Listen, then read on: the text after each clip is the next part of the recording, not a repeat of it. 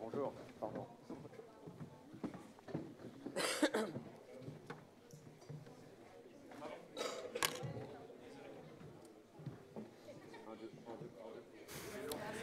Un, deux, un, deux. Voilà, parfait. Allez-y, installez-vous. On va démarrer dans quelques minutes. Prenez place.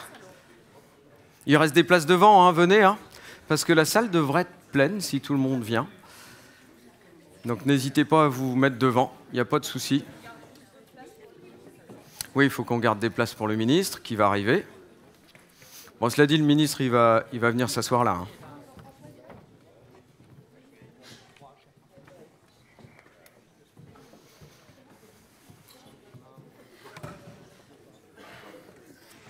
Vous êtes Thomas, vous êtes Thomas, parfait.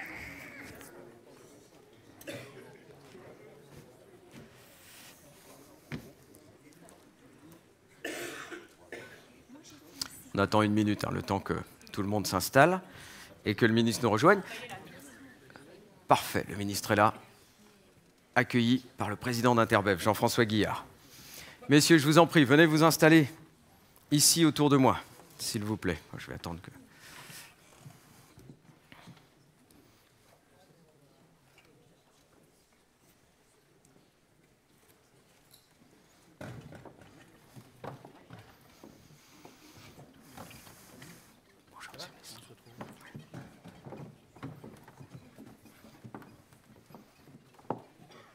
Messieurs, je vous en prie, asseyez-vous, asseyez-vous vous voulez, je me trouverai une petite place sur le côté.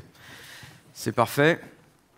Merci à vous, Monsieur le Ministre. Merci Jean-François Guillard. Bonjour et bienvenue à toutes et à tous pour cette conférence intitulée Politique commerciale européenne versus Green Deal. Quelle stratégie de la France à l'échelle européenne pour protéger efficacement à la fois les filières agricoles et l'environnement? Conférence organisée euh, conjointement par Interbev, la FNH, la Fondation pour la Nature et l'Homme, qui défend notre environnement, et l'Institut Veblen, think tank tourné vers la transition écologique. Alors nous parlerons ce matin de commerce international, de ses conséquences sur les filières et sur l'environnement. Nous parlerons de l'encadrement du commerce international, nous parlerons de réciprocité des normes, ce qu'on appelle désormais communément les mesures et les clauses miroirs. Bonjour Jean-François Guillard. Bonjour, bonjour à tous. Vous êtes le président d'Interbev. Ce, euh, ce sujet de la réciprocité des normes, on en a déjà parlé. Il y a déjà eu, il y a un an et demi, je crois que c'était en février, je prends mes notes, février 2022, une première conférence à Bruxelles qui a fait avancer le sujet grandement. Tout à fait. En effet, sous la présidence française du Conseil de l'Union européenne, nous avons organisé euh, conjointement, euh, comme aujourd'hui, donc avec la Fondation La Nature et l'Homme et l'Institut Weben, une première conférence euh, sur euh, les enjeux de, et surtout ce qu'on appelle aujourd'hui communément les clauses miroirs. L'objectif était essentiel. Hein.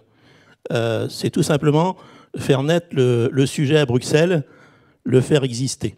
Vous voulez dire qu'il y a deux ans, personne ou quasiment personne dans les échelons européens ne parlait de ce sujet et ne considérait ce sujet comme un sujet prioritaire? En effet, oui. On peut dire vraiment que nous subissions euh, cette situation euh, complètement absurde depuis, depuis des décennies. Hein. Donc absurde pour les, pour les filières. Pourquoi absurde?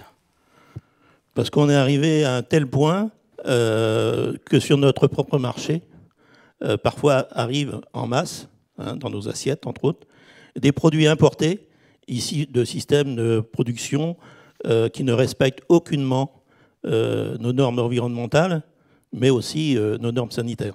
Quelles conséquences pour les filières, pour vos filières notamment dans la viande? Bah, Cette situation euh, déclenche automatiquement euh, des dégâts économiques importants, notamment pour la filière de production, avec la décapitalisation. Hein. je vous rappelle, 3% par an, on va arriver à un million d'animaux rapidement. Hmm. Et surtout, ça ne va pas du tout dans le sens euh, du gouvernement hein, qui, qui prône la souveraineté alimentaire, mais aussi euh, euh, la protection de l'environnement. Alors, un an et demi se sont écoulés, Jean-François, depuis cette conférence. On peut faire un, un premier bilan. Quel bilan en tirez-vous? Ce sujet de la réciprocité des normes dans les échanges commerciaux, est-ce qu'on peut dire qu'aujourd'hui, il existe à Bruxelles? Oui, on peut dire ça, on peut le dire aujourd'hui. Nous avons quand même avancé ensemble la filière, les ONG mobilisées, le gouvernement, les députés européens, et je salue ceux qui sont dans la, dans la salle. je dirais que nous avons gagné une, une, petite, une petite bataille. Oui. La bataille culturelle. Est-ce qu'on peut dire que c'est gagné, oui ou non? Non, pas encore. Parce que euh, on est au, début du chemin. Euh, on est bien, on, avance, mais euh, on attend des actes concrets. Et pourtant, et pourtant, vous avez eu une victoire pendant la présidence française de l'Union. Oui, on a eu une petite victoire, en effet. on a obtenu l'adoption du règlement sur la déforestation, donc la déforestation importée, qui va vraiment dans, dans le bon sens mais euh, les modalités d'application aujourd'hui euh, sont encore euh, très floues et difficilement applicables.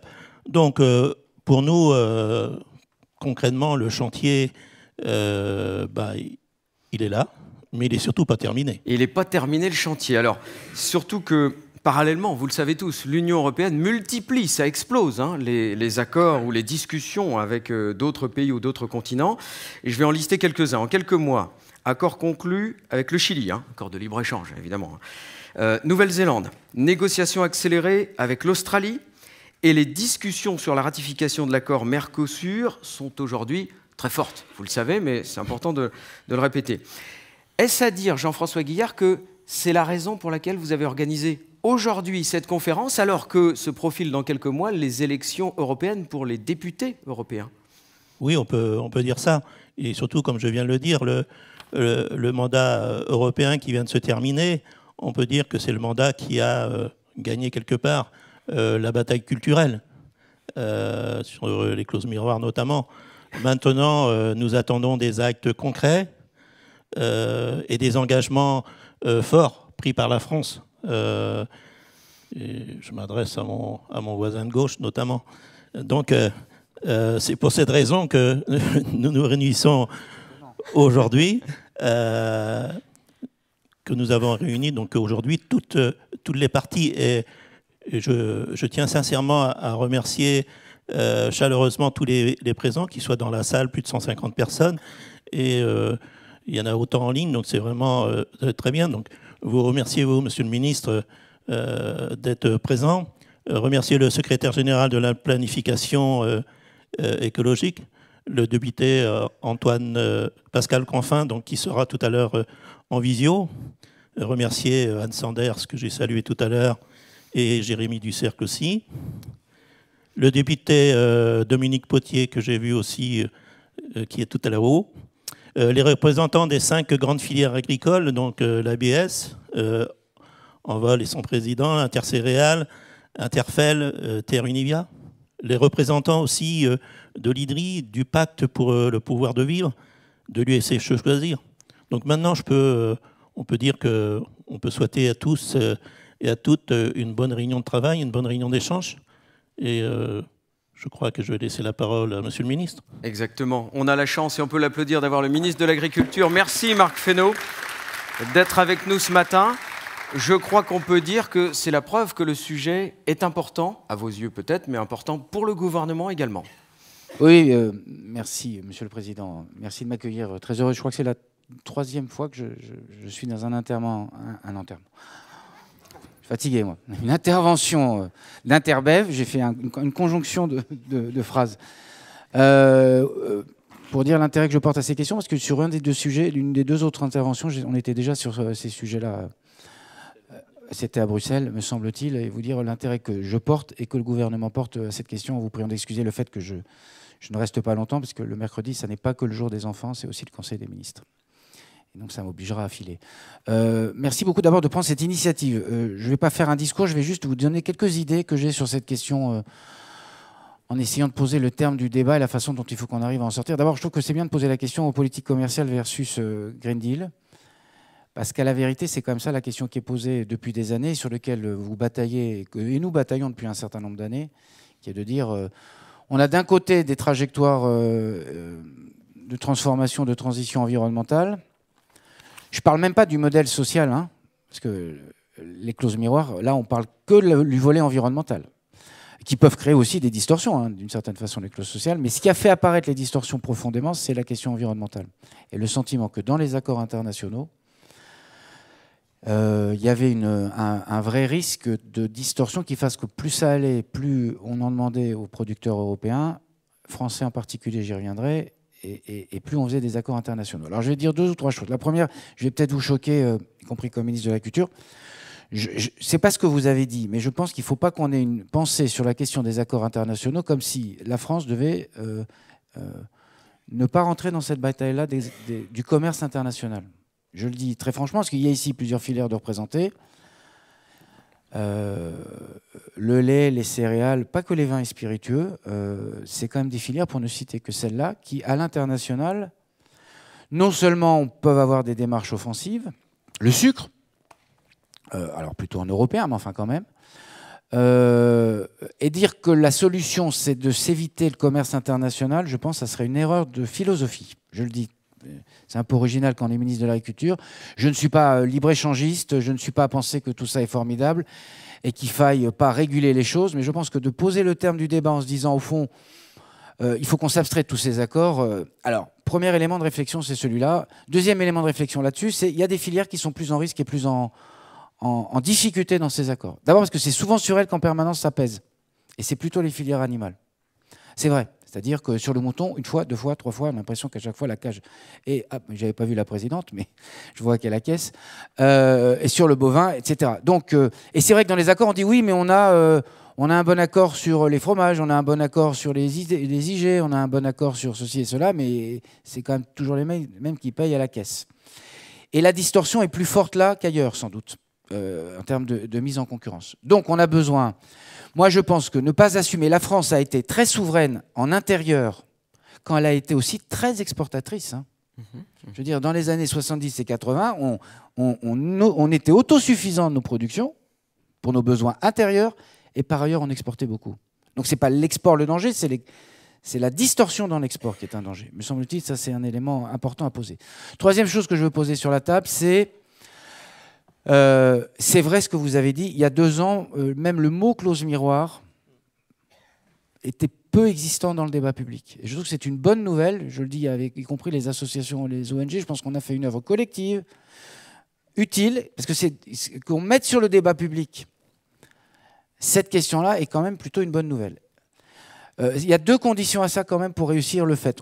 ce que vous avez dit est très juste, Monsieur le Président, c'est qu'on démarre. Hein. Euh, et on passe pas, il n'y a pas le grand soir euh, de l'ombre à la lumière d'un coup comme ça, parce que structurellement, la politique commerciale européenne ne s'est pas construite autour de l'idée qu'il fallait qu'on intègre les questions environnementales. On faisait du business. Et reconnaissons aussi que dans le business, on considérait que l'agriculture, c'était le truc dont on parlait à la fin. Et qui était parfois l'ajustement de fin. Euh, et donc, ce n'est pas la culture de la DG Trade, comme on dit. Et ce n'est pas la culture collective à la Commission euh, et même euh, chez les collègues européens. Donc premier sujet, c'est d'avoir réussi à le mettre dans le débat parce que je pense que ça commence à tendre trop pour que les gens ne puissent pas se saisir, y compris politiquement, euh, du sujet. Deuxième sujet, ce qu'on dit souvent, le qu'est-ce que fait le gouvernement, c'est incroyable, on a un accord. on est 27. Hein. Donc le sujet, c'est pas d'avoir raison, le sujet, c'est d'avoir une majorité, en fait. Parce que j'adore mon pays, mais il faut, arrêter d'arriver en disant c'est la position française, elle va s'imposer comme on imposerait les mains. Euh, L'Europe, c'est de la diplomatie. C'est de convaincre les autres.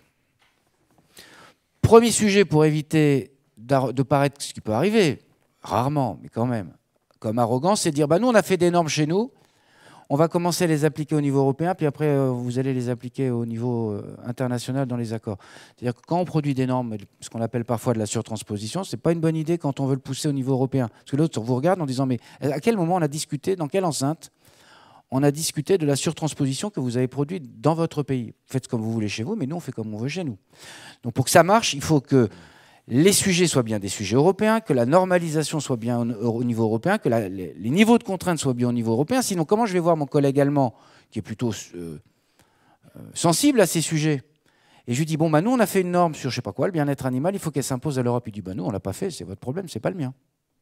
Donc, pour que ça marche de parler de clauses miroirs, il faut qu'on ait des clauses euh, internes qui soient les mêmes. Mmh, mmh. Sinon, ça ne marchera jamais. Parce qu'on est là, on, étale notre impuissance nationale. Donc, un, il faut que ça soit. Si on veut parler des clauses miroirs, il faut qu'on puisse en parler en européen.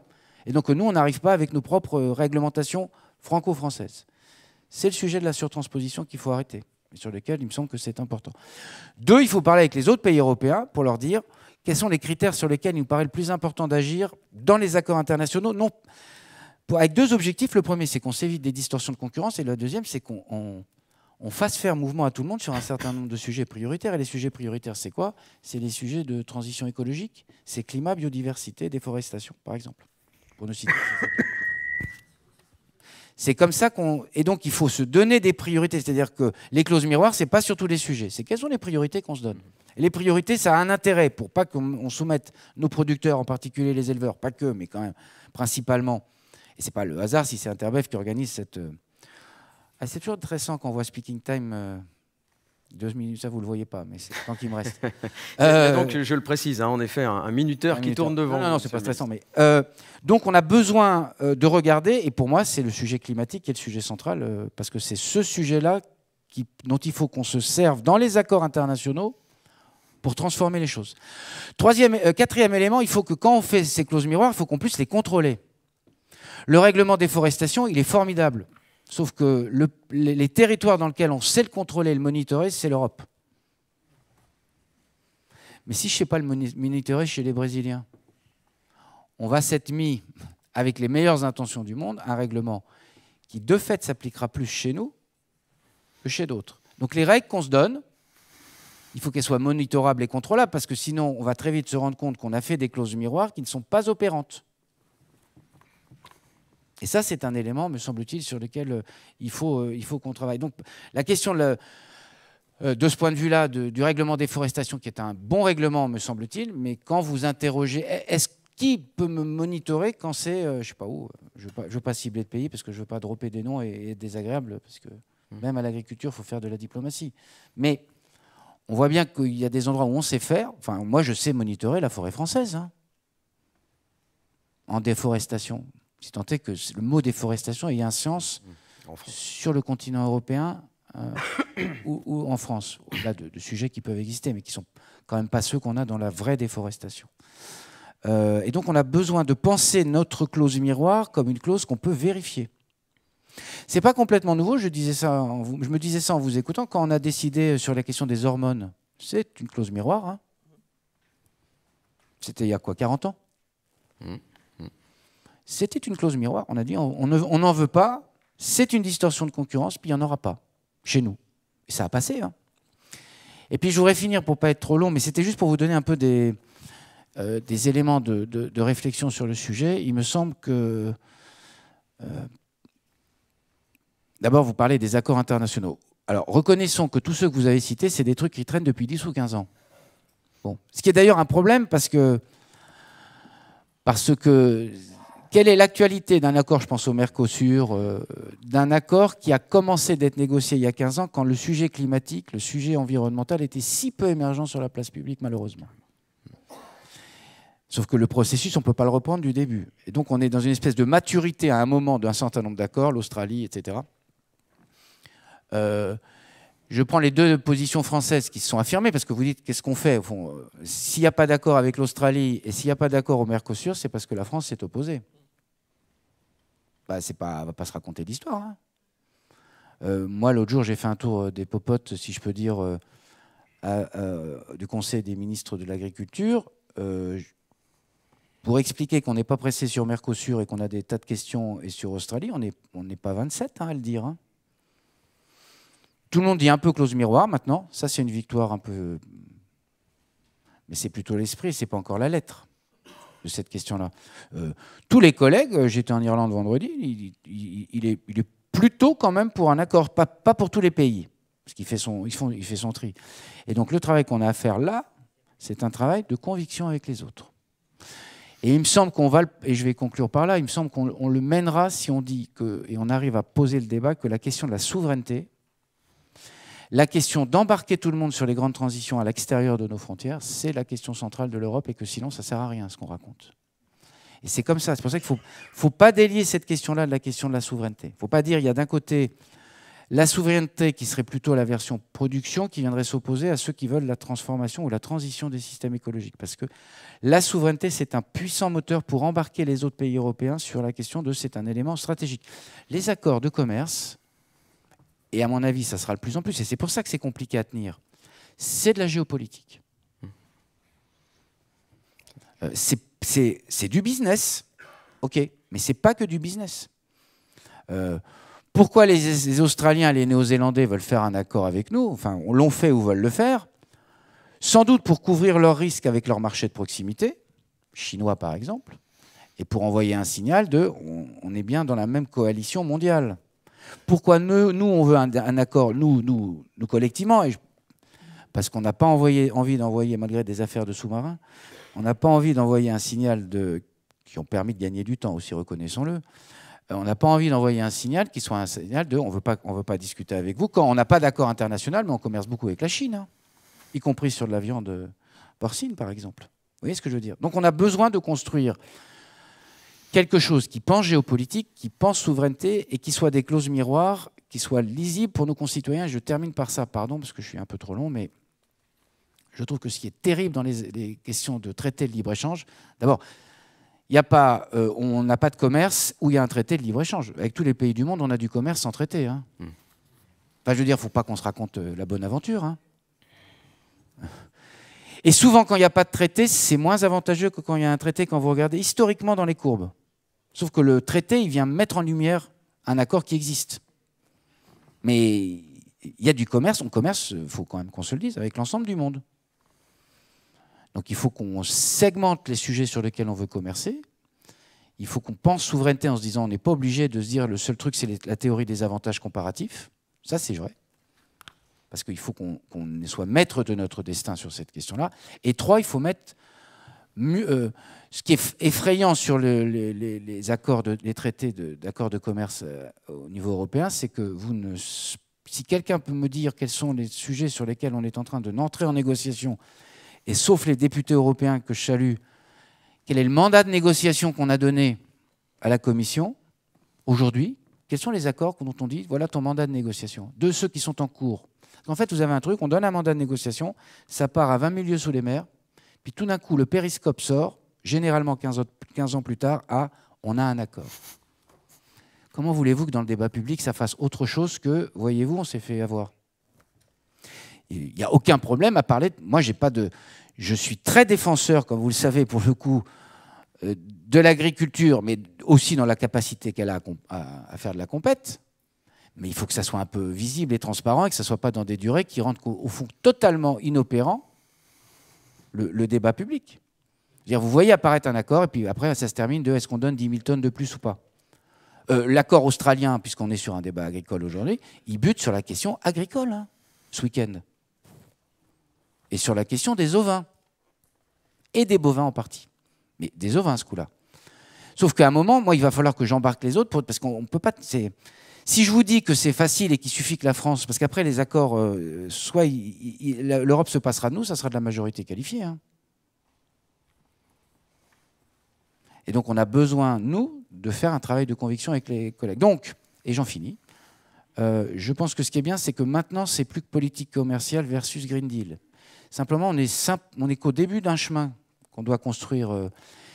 Et donc, je répète, il faut qu'on détermine les critères qui nous paraissent euh, centraux, non pas dans une logique de je veux protéger, une logique un peu qui soit malthusienne ou une logique euh, autarcique ou une logique de, mais une logique de nous, on ne peut pas accepter des produits qui ne créent pas les conditions climatiques, environnementales et autres qui soient insupportables au monde globalement, parce que c'est l'intérêt de tous qu'on avance sur ces sujets-là si on a 4 degrés, ce n'est pas la France qui va être le seul impacté, hein, c'est tout le monde prend.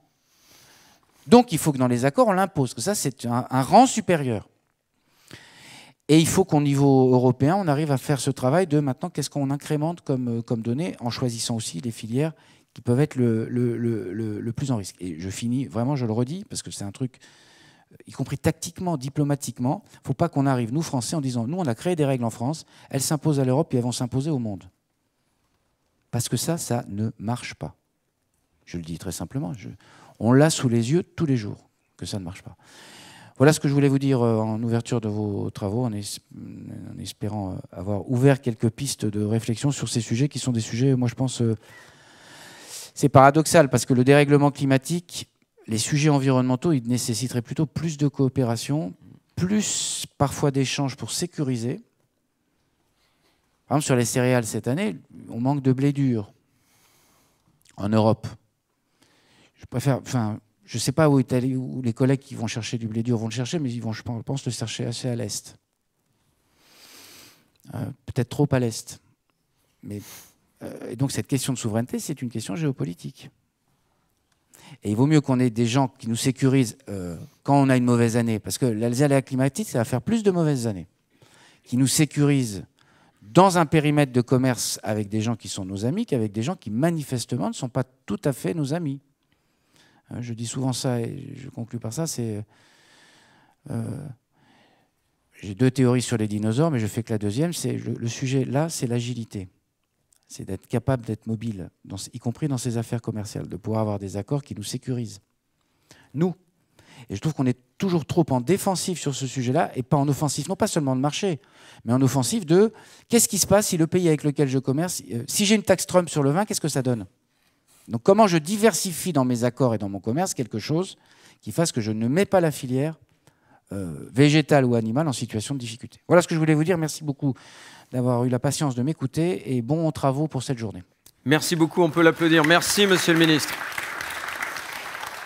On vous libère immédiatement parce qu'on sait que vous avez un conseil des ministres à suivre. Merci Jean-François, merci à vous, merci beaucoup. Alors il y a dans cette salle, euh, devant leur écran d'ordinateur, il y a plus de monde devant l'écran d'ordinateur, beaucoup de gens très différents, des professionnels agricoles, des ONG, des politiques, la société civile, une diversité dont on est fier et qui fait toute la singularité, toute la force de notre conférence. Hors de question de dire qu'on est d'accord ou que vous êtes d'accord sur tout ce matin. Euh, nos différences, nos engueulades habituelles, on va se dire les choses, elles sont légitimes sur les moyens de production, sur l'avenir de l'agriculture, mais elles se tiendront pas ce matin. Elles se tiendront à un autre moment ailleurs.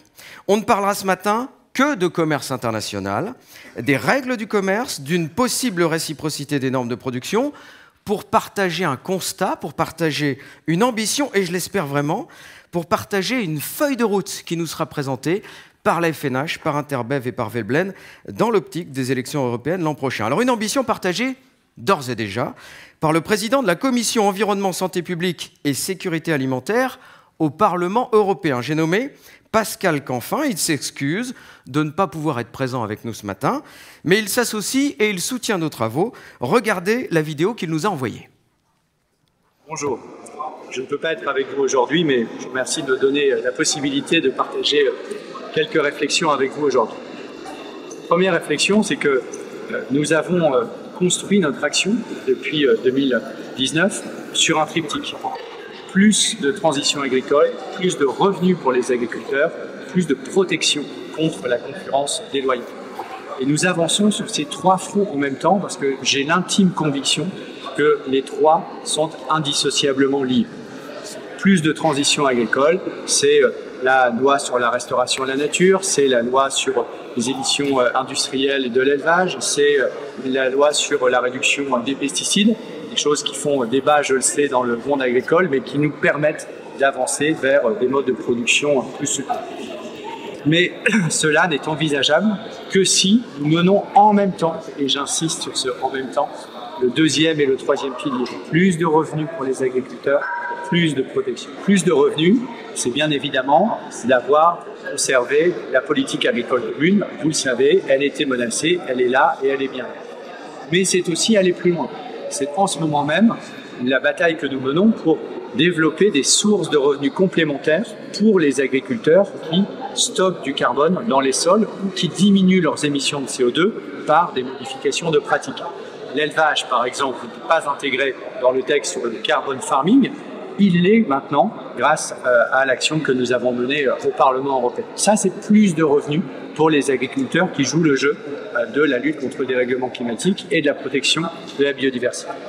le troisième pilier, c'est la protection contre les concurrences déloyales. C'est ce qu'on appelle, pour simplifier, les clauses miroirs, et ce sont des combats que vous connaissez bien et sur lesquels nous sommes alliés pour les faire avancer. Ce que nous sommes en train de réussir, c'est d'intégrer ces clauses miroirs dans tous les textes de manière systématique maintenant. C'est le cas pour, pour, la position du Parlement, pour les émissions sur le texte IED, c'est le cas pour le texte que nous venons de voter sur les pesticides. Ce que nous faisons, c'est que nous inversons la logique initialement portée par la Commission. En gros, la clause miroir, c'était l'exception. Nous, nous souhaitons qu'elle devienne la règle.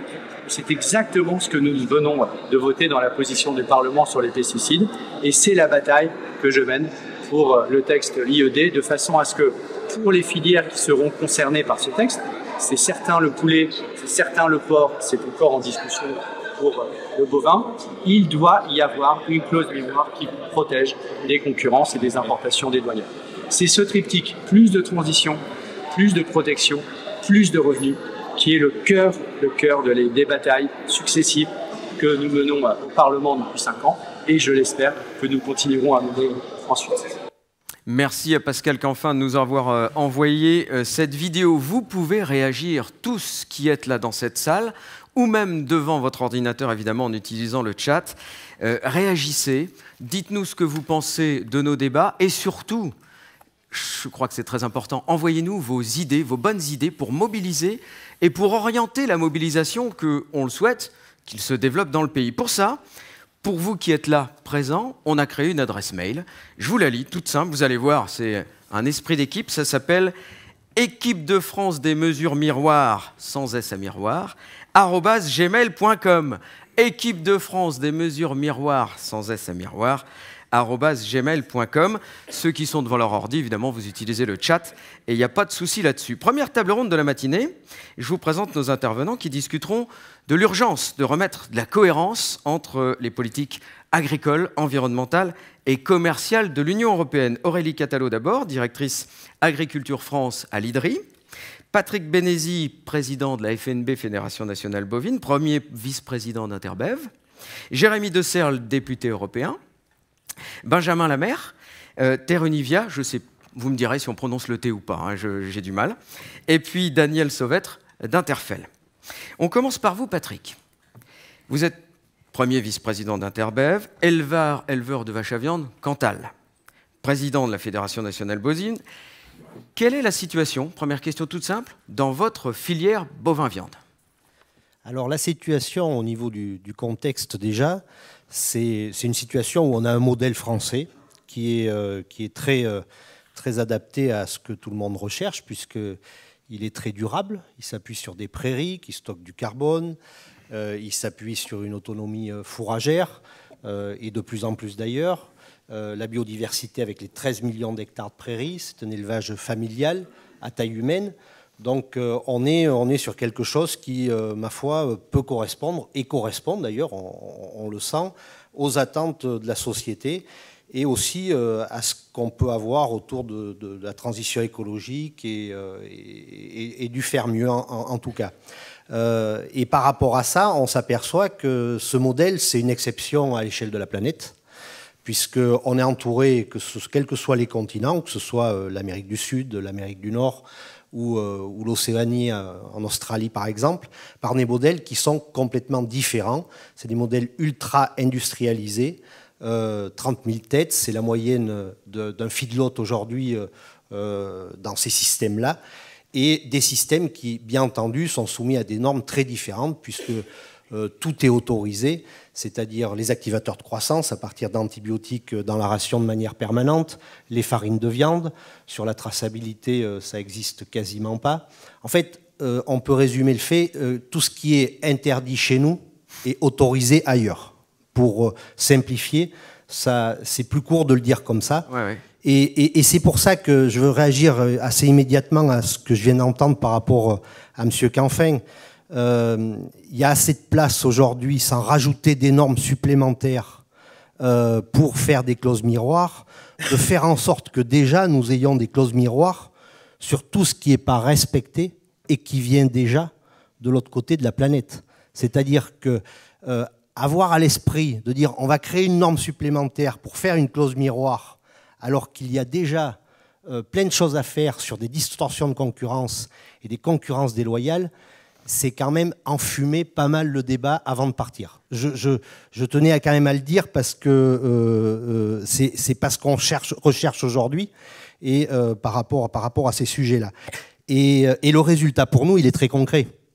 C'est que 25% d'éleveurs en moins, un quart d'éleveurs en moins en 10 ans, et puis 3 millions de vaches en moins en 60 ans, 1 million de vaches en moins en 7 ans, et depuis l'an dernier, 200 000, 200 000 vaches de moins de juillet à juillet 2022-2023. Et vous le reliez directement à ces importations? Alors, ce n'est pas la seule raison, la seule raison bien sûr. mais en tout cas, euh, malgré tout, il y a des chiffres qui parlent. Face à ces baisses, aujourd'hui, le Brésil et l'Argentine ont mis l'équivalent, en plus en 10 ans, les deux pays ont mis l'équivalent du cheptel total français en 10 ans. Donc ça veut dire, tant qu'on perd des vaches chez nous, ils en mettent davantage, et, pas, pas, de manière petite, puisque l'équivalent total du cheptel français, c'est euh, en plus de ce qu'il faisait déjà. C'est gigantesque.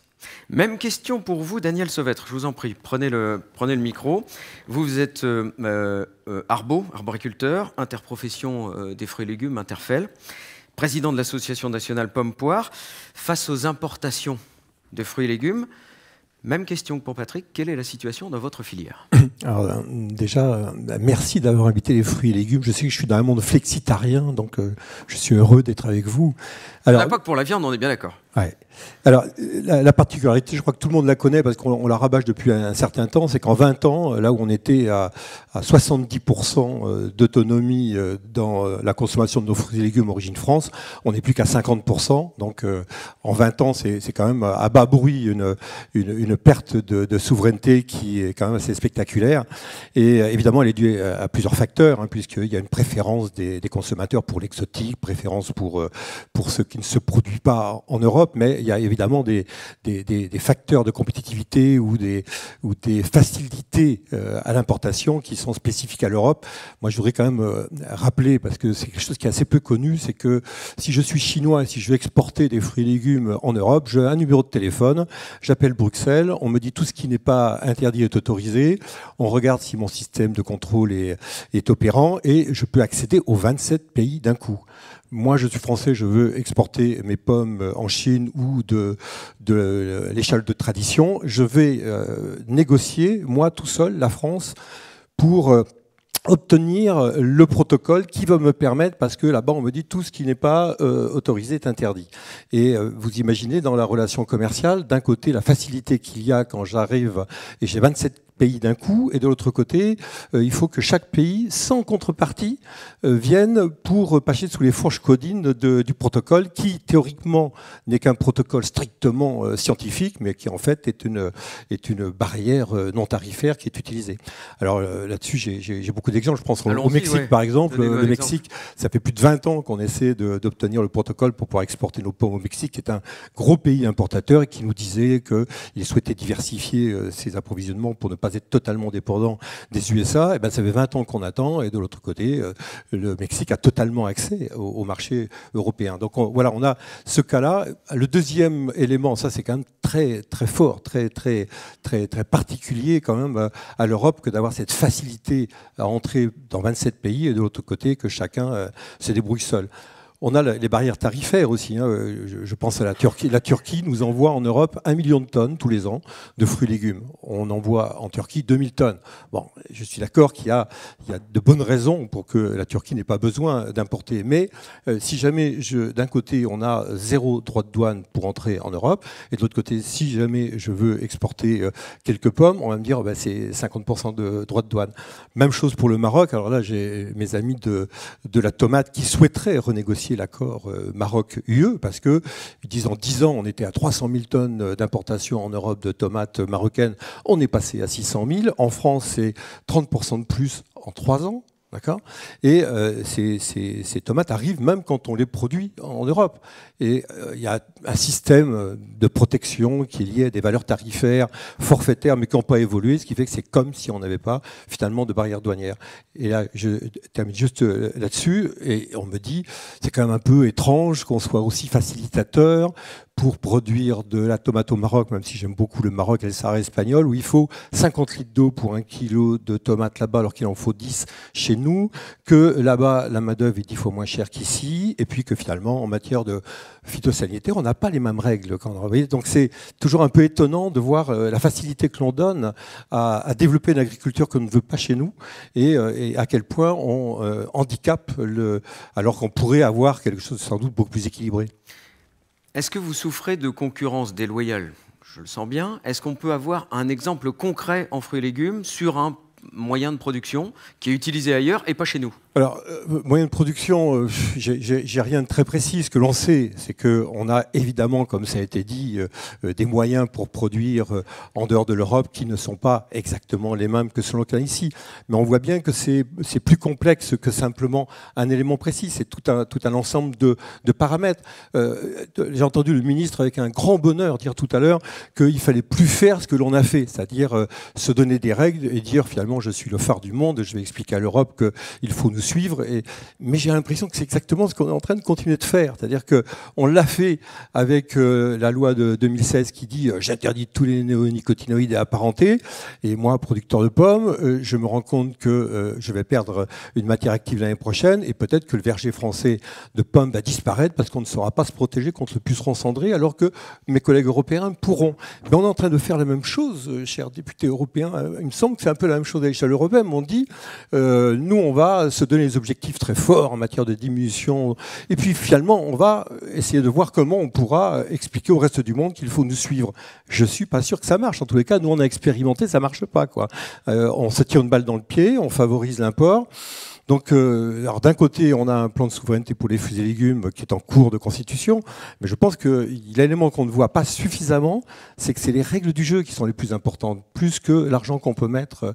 Et ces règles du jeu, à mon sens, on n'a pas encore inversé la tendance, on n'a pas encore bien compris que euh, le monde ne suivra pas forcément notre façon de voir les choses. Alors, je, peux t'ajouter une dernière chose, parce que la semaine dernière, c'était un vrai bonheur. J'étais euh, j'étais en, Moldavie et on, avait une rencontre avec nos collègues producteurs là-bas, et j'ai entendu l'ambassadeur de France euh, en Moldavie qui disait quelque chose que je trouvais passionnant hors de nos frontières. Il disait bon, la France a vraiment envie d'aider la, Moldavie dans sa capacité à accéder à l'Union européenne et on a détecté que le vrai souci, c'est euh, l'adaptation au changement climatique. Il y a deux éléments où on va les aider. C'est sur la déforestation, mais également on va les aider à reconstituer, eux qui ont détruit une grande partie de leur système d'irrigation, on va les aider pour mettre en œuvre de l'irrigation. Et alors je disais, mais euh, est-ce que, monsieur l'ambassadeur, je suis fier d'être ce pays qui aide, parce que je trouve que c'est beau, mais est-ce que vous avez un budget pour ça? Oui, j'ai 40 millions d'euros pour mettre sur l'amélioration des systèmes d'irrigation. J'interroge les collègues producteurs, j'ai dit, mais comment Ben oui, il faut absolument qu'on fasse des, des réserves, des lacs artificiels pour mettre de l'eau d'hiver, pour l'avoir l'été. Alors vous voyez, quand on est loin de chez soi, le bonheur qu'on peut avoir d'écouter des discours de vérité. On est une équipe de France et on n'est pas forcément d'accord sur tout, on est bien d'accord. On va revenir tout à l'heure sur la façon dont on contrôle les résidus à l'entrée à nos frontières. Mais j'aimerais qu'on passe d'abord avec euh, Benjamin Lamerte. On dit bien Lamerte, hein, c'est bien comme ça. Vous êtes le président de l'interprofession Terre Univia, euh, producteur euh, d'oléoprotéagineux. Dans votre filière, est-ce que vous avez un ou deux exemples de concurrence déloyale? Oui, tout à fait, Pascal. Et ça, abonde ce que tu disais tout à l'heure, Patrick, hein, sur les oléoprotéagineux, j'ai deux exemples euh, assez marquants. Euh, moi, j'ai dû faire un audit de durabilité pour ma production de soja sur ma ferme. On m'a posé la question et j'ai dû prouver que je ne cultivais pas d'OGM. J'ai dû démontrer que ma production n'était pas déforestante, que je n'avais pas arraché des forêts, etc. Que je n'avais pas recours à l'esclavage ni au travail des enfants. On vous a demandé ça? Et on m'a demandé mes titres de propriété pour s'assurer également que je n'avais pas euh, expulsé euh, des producteurs pauvres de leurs terres. C'est bien. Vous l'aviez pas fait. Alors j'ai pu, j'ai pu tout prouver. J'ai laissé l'inspecteur discuter avec mes salariés, etc. Tout s'est très bien passé. Les enfants étaient à l'école ce jour-là, pas de problème. Euh, mais enfin, ça pose quand même la question que tous les jours, hmm. potentiellement, il y a ce type de production qui rentre en Europe. Et Parce là, que ça, ce que vous avez dit, ça se fait ailleurs? Alors, les, enfants, quand même pas. Eh bien, si, bah, évidemment que si. Enfin, sur la production importée, c'est des choses, c'est des choses qui sont à risque, évidemment. La déforestation, c'est évident. Les OGM, Oui. c'est évident. Mais euh, le recours au Les travail des mineurs, euh, enfin voilà, ça, ça existe, ça existe dans beaucoup d'endroits du monde. Et la question est vraiment réelle, c'est-à-dire qu'il y a des choses qui rentrent sur notre territoire qui ne sont pas aux mêmes normes en fait, sociales, environnementales, de qualité, etc. J'ai un deuxième exemple aussi très parlant, ça concerne la, la lentille. Euh, la lentille, à l'import, euh, elle doit répondre à, à un certain seuil de limite maximale de résidus de glyphosate. Mhm. Euh, c'est totalement interdit De d'utiliser glyphosate, parce qu'il peut y avoir du glyphosate sur une on peut lentille. traiter dans certaines parties du monde les lentilles en culture avec du glyphosate. Chez nous, ça sert qu'en interculture, ça Ça- ça rentre jamais dans la chaîne nous, alimentaire, il n'y en a Ouais. jamais, etc. Mais donc, il y a- il y, a déjà un seuil qui existe, voilà, qui est contrôlé et il y il y, a une norme. Le plus scandaleux, c'est que l'année dernière, cette norme a été relevée à un facteur 10. C'est-à-dire que le seuil qui existait a été multiplié par 10 pour permettre à des produits qui avaient des fortes teneurs en fait en glyphosate de pouvoir rentrer quand même. Donc on a mon- monté la norme. C'est euh, exactement l'inverse de ce qu'on euh, qu'on constate en France. En France, on nous baisse les seuils en permanence, on nous supprime des produits, etc. Et là, sur de l'import, euh, les seuils augmentent. Alors, dans quel pays on fait de la lentille en utilisant le glyphosate et à quoi ça sert? Alors, c'est euh, au Canada, euh, puisque là-bas, la saison de culture est assez courte. hein. On est en partie nord de, de l'Amérique du Nord. Et du coup, pour pouvoir récolter les lentilles, il faut bah, les, les faire. Elles n'arrivent pas à la, à la fin de leur cycle. Et donc, on met du glyphosate pour tuer la lentille en fin de cycle. euh, Pour tuer la plante, quoi. Parce que Pour tuer la plante et pour pouvoir plantes. la récolter. Avant la récolte, on balance du glyphosate. Ça sert à la défaner la, la lentille avant la récolte. D'accord. Et donc, c'est pour ça qu'on peut en trouver finalement dans les, dans les lentilles. On en trouve ici dans nos assiettes. Euh, Exactement. Enfin, on a à peu près 60% de la consommation de lentilles qui est importée en France. Quelles conséquences euh, économiques sera le dernier point de ces importations déloyales et qui sont même, allez, franchement euh, dégueulasses si on utilise. Bah, c'est des écarts de compétitivité majeurs. C'est-à-dire que notre, euh, la qualité, enfin toutes les qualités qu'il y a dans nos productions ne sont pas reconnues dans le prix finalement. Et donc on se retrouve à un prix mondial qui reflète pas du tout cette qualité.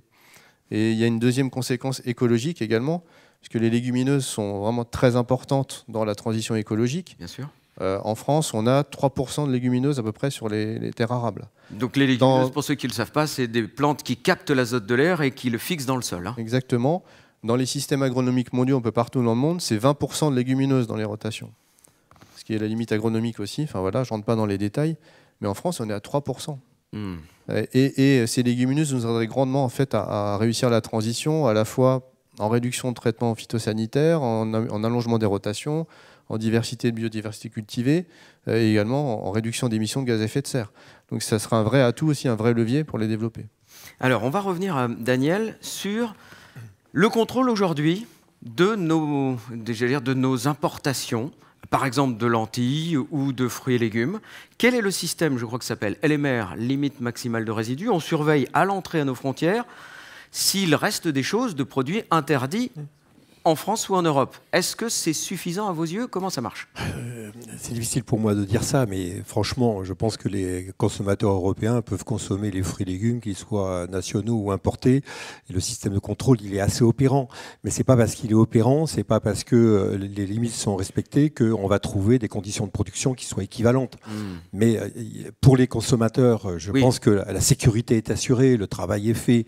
On est dans, dans- dans une Ça, Europe où les, où- où les choses vont bien. Est-ce que ça empêche la déloyauté de, le- Mais- de la relation mais- mais commerciale Bien entendu, puisque euh, je peux très bien avoir utilisé un produit qui m'aide à, à- à produire dans, dans- dans un pays et qu'il n'y ait pas de traces ou que je sois avec une LRM respectée. Euh, Et si jamais j'ai aussi une production euh, qui n'est pas cultivée en Europe, eh bien évidemment j'ai recours à des produits qui, pour lesquels il faut instituer une LMR parce qu'ils ne sont pas utilisés en Europe. Tout, tout ça, ça, tout ça, ça fonctionne, mais le déséquilibre à bas bruit, il fait que euh, ailleurs, ça a été dit, je peux avoir des conditions de production qui, font que je, je fais face aux difficultés, face aux maladies ravageurs. J'entre en Europe avec un système de sécurité sanitaire qui finalement est opérant, et de l'autre côté, j'ai euh, mes propres producteurs qui ne sont pas dans la même situation de pouvoir être compétitifs. Et au fil du temps, eh bien, c'est ce que l'on constate. On est passé à 50%. Là, où on était à, euh, on était à 70% de production nationale, on est à 50%. Et à mon avis, le danger, même si on a un plan de souveraineté, c'est que avec euh, les injonctions paradoxales que l'on a, d'un côté, il faudrait être capable de surmonter toutes ces difficultés et augmenter notre part de production. J'ai peur que les faits sont têtus, comme disait Lénine. Je pense qu'on on va tout droit à l'augmentation de l'import si jamais on ne, on ne regarde pas avec plus d'objectivité ou plus de, soutien à ce qu'il est dit quelque part dans, dans, euh, dans le, la délibération qui était prise au Parlement sur le fait qu'on va diminuer, mais qu'il faudrait que tous les, les paysans d'Europe appliquent la production fruitière intégrée. Mais c'est justement ce que euh, chaque filière essaie de faire et de mettre en œuvre. Il faudrait qu'on regarde un peu plus sur notre capacité à mettre en œuvre tout ça, plutôt que de nous donner des injonctions en disant moins 50, moins 30. C'est pas ça qui va marcher. Ce qui va marcher, c'est l'amélioration permanente des pratiques. Aurélie Catalot, vous êtes directrice agriculture France à l'IDRI. Je le rappelle, donc un think tank indépendant de recherche orienté vers la transition et le développement durable. Est-ce que vous êtes d'accord avec ces constats dressés par les filières? euh, oui, évidemment, je ne vais pas prétendre mieux connaître les constats propres à ces filières que messieurs les présidents, donc ça c'est sûr et certain, et je partage aussi tout à fait euh, le, caractère indispensable d'être à la recherche d'une meilleure cohérence. Il faut saluer, encourager tout effort dans ce sens-là. Par contre, une des caractéristiques un peu de l'idée, c'est d'essayer d'avoir une vision systémique sur les enjeux et d'essayer de, de, se poser toutes les questions euh, qui doivent se poser quand on poursuit un objectif, ici en l'occurrence la cohérence. Et la cohérence, ça fait partie de ces qualités qu'on a entièrement ou qu'on n'a pas. On ne peut pas être un peu cohérent. On peut être cohérent à la carte. Il faut, on est nécessairement, euh, il faut qu'on cherche à être entièrement cohérent. Est-ce qu'aujourd'hui, on est justement cohérent? Vous parlez de ce mot cohérence. Est-ce que entre nos politiques euh, de production, de souveraineté et notre ambition verte de Green Deal, par exemple, est-ce qu'il y a une cohérence ou une incohérence à vos yeux? Non, non, bah, c'est les constats que, mes voisins ont portés. Il y a aujourd'hui énormément d'éléments d'incohérence et il y a des cas de figure des filières pour lesquels on est absolument tous d'accord pour essayer euh, de résoudre ces incohérences. Par exemple, l'exemple de la filière euh, bovin-viande, euh, c'est un exemple sur lequel il y a une forme d'unanimité pour aller vers la réciprocité des normes. Pourquoi? Parce qu'en France, premièrement, on a un modèle d'élevage bovin-viande qu'on cherche à préserver parce qu'il est louable pour l'environnement et qu'il il correspond aux aspirations de la société.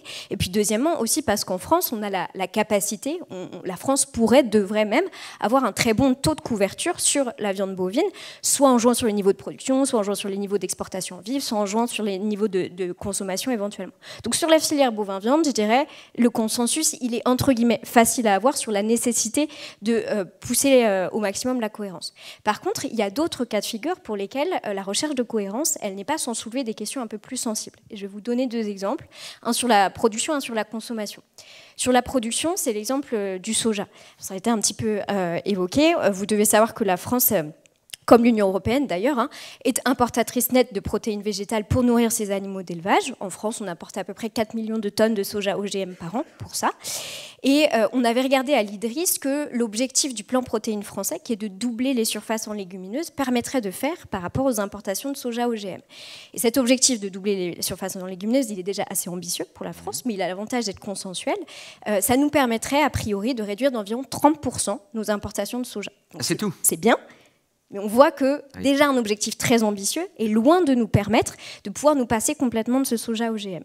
Et donc, euh, si on envisage une mesure miroir, ce qui est euh, au sens de, aux yeux de l'idée éminemment souhaitable sur le soja OGM, c'est pas sans poser de questions sur les filières d'alimentation animale pour une partie de nos cheptels, voire et, potentiellement même sur la taille de nos cheptels.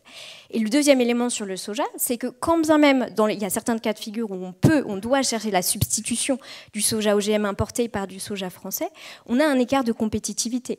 On estime que c'est à peu près 50 à 60 euros plus eh cher la tonne à produire du soja chez nous français non OGM que du soja importé. Et donc derrière, ça a nécessairement une répercussion sur le consentement à payer du consommateur pour des produits laitiers, pour des œufs ou euh, pour, euh, pour euh, de la, du poulet qui est issu, du, enfin qui, est, qui a été produit pardon, avec une alimentation non OGM. Donc cet exemple du soja, il nous montre deux choses. Il nous montre que parfois la, la recherche de cohérence nous pousse à, identifier les vulnérabilités de notre système alimentaire français sur la taille et, de certains cheptels et également sur la valeur de l'alimentation. Et donc, quelle conclusion vous en tirez? Bah, J'en tire la conclusion que euh, la, cohérence est un sujet parfait pour nous obliger à avoir un regard systémique sur le système alimentaire que nous souhaitons. Et rechercher une forme de cohérence, euh, ça nous invite à nous mettre d'accord sur déjà quel est le, niveau par rapport auquel on souhaite être cohérent. Ici, en l'occurrence, dans le titre de la conférence, c'est politique commerciale versus Green Deal. Donc on part du principe qu'on est d'accord pour fixer le niveau de cohérence. Euh, au niveau du Green Deal, mais soyons lucides, au niveau européen, c'est pas sans faire débat euh, le fait que le Green Deal soit le niveau à partir duquel on souhaite avoir la cohérence. Donc ça suppose premièrement de se mettre vraiment d'accord sur le modèle agricole et alimentaire européen et français qu'on souhaite avoir chez nous. Ensuite, comme le disait le ministre, d'harmoniser au sein de l'Union européenne nos propres normes, parce qu'on ne peut pas exiger des importations de pays tiers qu'elles respectent des normes qui ne sont pas appliquées aujourd'hui dans tous les États membres. Et ensuite, eh ben, ça, nous, amène effectivement à avoir, euh, comme ça a été dit, de, réviser certains accords de libre-échange, de réviser certains éléments qui ont dicté la politique commerciale de l'Union européenne jusqu'à présent, pour euh, venir euh, avoir une, une, une politique de transition agroécologique en Europe qui ne se fasse pas au détriment des producteurs français. Bon, dernière question. Est-ce que ça veut dire que pour vous, le calendrier doit être plus lent, plus adapté, j'allais dire sur, le soja par exemple, ou est-ce qu'il faut une mesure miroir euh, directe et puis euh, toutes les importations doivent y passer? Ou est-ce qu'au contraire, on peut se dire, euh, puisque ça a des conséquences économiques sur les filières, on peut adapter le calendrier? Je, pourrais faire un vœu pieux que du jour au lendemain, euh, pouf, on est plein de, plein de réciprocité d'énormes, mais Monsieur le ministre a rappelé les calendriers. Malheureusement, ce ne serait pas très lucide. Je dirais plutôt qu'il faut, il faut sans tarder essayer d'introduire de la réciprocité des normes à chaque fois qu'on négocie un texte européen, à chaque fois qu'on négocie un. Important. Bah, plus vite serait mieux, je pense, hmm. mais ça ne me semble pas réaliste. Donc faisons-le aussi vite qu'il est réaliste de, l'envisager. Par contre, euh, la recherche de cohérence, ça ne doit pas être pris comme un prétexte à l'attentisme. Il ne s'agit pas de se dire, nous en France ou nous en Europe, on ne fait rien tant que les autres n'ont pas fait. C'est pas, pas, je pense que ce n'est pas l'esprit euh, de ce qui est discuté là aujourd'hui. La recherche de cohérence, c'est aussi une manière d'inviter un peu chacun, chacun des acteurs, euh, que ce soit l'État, l'Union européenne, les acteurs des filières, les think tanks, les ONG, à balayer un peu devant la porte de nos propres incohérences. Chacun se met en cohérence et comme ça, on est beaucoup plus crédible ensuite quand on va essayer de négocier de la réciprocité des normes. Merci Aurélie. Euh, Jérémy de Serle, vous êtes député européen. Vous êtes au cœur de la machine. Vous avez entendu les, filières, vous les connaissez. Hein, Ce n'est pas un discours nouveau pour vous, qui êtes spécialiste de ces questions. Comment on en est arrivé là? Comment est-ce qu'on en est? Comment la machine européenne fonctionne? On ne fait pas de l'anti-européanisme, hein, ce n'est pas l'objectif. On aime l'Europe, il n'y a pas de souci. Mais comment est-ce qu'on en est arrivé là? Bon, déjà, bonjour à, toutes et à tous. Et j'ai envie de dire euh, merci à l'Institut Veblen, à la Fondation euh, pour la Nature et l'Homme et à Interbev de cultiver l'idée, notamment de cette euh, fameuse réciprocité, de ces fameuses clauses miroirs, parce que je vous garantis qu'avec toute l'énergie que nous avons les uns les autres dépensée pour justement pousser cette idée-là au niveau européen et faire en sorte que demain nous puissions à chaque accord commercial pouvoir intégrer des réciprocités. Ça ira jamais aussi loin qu'on voudrait. Euh, mais si on n'avait pas fait tout ce travail-là, euh, eh bien, euh, voilà, effectivement, on n'en serait pas à ce niveau-là. Et s'il n'y avait pas des organisations pour cultiver l'idée, eh bien, sans doute mm. qu'on s'arrêterait par découragement, parce qu'il y en a beaucoup qui nous poussent ou qui nous expliquent que ça sert à rien ou que les clauses miroirs, c'est le miroir aux alouettes. On a déjà entendu ça. Je vous garantis que quand on a dépensé l'énergie que certains dans cette salle ont dépensé, c'est dommage et ce serait dommage de s'arrêter là. Donc, merci euh, pour cette, pour cette journée. Vous avez parlé aussi d'équipe de France et effectivement, je ne sais pas s'il y a un rôle euh, privilégié ou plus facile qu'un autre dans cette équipe, et je vois en plus que le temps réglementaire est bientôt terminé, euh, mais je pense qu'on doit euh, vraiment faire un pacte pour continuer à, à pousser cette idée. Pourquoi on en est arrivé là? Il n'y a pas 36 raisons. Euh, sans doute que le Parlement européen a sa part de responsabilité et que les décisions qui sont prises ne sont pas toujours très, euh, très, très cohérentes. Mais il y a quand même une machine en Europe qui s'appelle la Commission européenne et qui a quand même du mal à désépaissir les cloisons qui existent entre les différents euh, étages euh, de ceux qui s'occupent euh, du commerce international, de ceux qui s'occupent de la santé des Européens, de ceux qui s'occupent de l'agriculture et de ceux qui s'occupent peut-être encore plus globalement de, de l'environnement. Et tout à l'heure, ça a été évoqué par le ministre, les mandats de négociation ont des années. Par exemple, sur le Mercosur, le mandat de négociation qui a bien sûr été revu, mais sans doute pas assez. Il date de 98. 98. Donc, euh, voilà, on est en train de négocier un texte avec un mandat de négociation qui est un peu vieux et avec des ambitions environnementales et un contexte géopolitique qui a euh, vraiment évolué. Alors, euh, le problème, il est là, il est que ceux qui négocient le Mercosur, qui écrivent le Green Deal et qui font la politique agricole commune ne se parlent pas ou pas assez. Et pour le coup, au Parlement, il y a peut-être euh, euh, aussi, comme je le disais, une part de responsabilité, mais on a tendance à essayer de traiter les textes euh, dans les différentes commissions concernées et à moins faire ce travail en silo qui est celui de la, de la Commission européenne. Donc, je ne dis pas que c'est que ça, mais on, une grande partie de, la situation dans laquelle on se trouve et de la difficulté qu'on a, elle réside quand même à la Commission européenne et dans sa façon de, fonctionner. Donc un besoin de cohérence à l'intérieur même de la Commission et, des institutions. J'entends bien le, le message d'un mot, parce que vous voyez qu'il nous reste très peu de temps.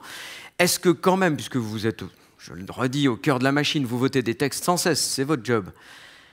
Est-ce que dans les derniers textes concernant l'agriculture, c'est un peu mieux, on commence à prendre en compte tous les aspects de la question, ou est-ce qu'on reste toujours en silo, focalisé sur le commerce ou sur autre chose?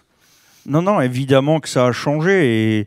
Enfin, je vois Anne Sander que je salue ici euh, pourrait aussi en témoigner. Il n'y a plus le même discours quand euh, on est arrivé au Parlement, et ça, je l'ai sans doute dit déjà devant vous dans d'autres conférences. Mais quand euh, en 2019, enfin, moi-même et d'autres sommes arrivés au, Parlement, les clauses miroirs, les questions de réciprocité, c'était plutôt banni des discussions quand on parlait de commerce. Aujourd'hui, il n'y a plus un accord qui est discuté sans que ces mots-là, sans que ces euh, termes-là et sans que ces volontés-là soient euh, évoquées. encore une fois, ça veut pas déjà dire. Ça, c'est ben, déjà ça. Déjà d'en parler. Enfin, d'où on partait et où on est maintenant, on ne peut pas nier ce changement on, doit, et c'est pour ça, quand vous parlez d'équipe de France, je pense que chacun est dans son rôle. Il y a les défenseurs qui peuvent euh, à la fois euh, gueuler et, pour défendre une profession et dire que ça va pas assez vite. Nous, on doit continuer sans doute à attaquer. Et puis il y en a qui doivent aussi créer du lien, mener le jeu pour que justement les, différentes, euh,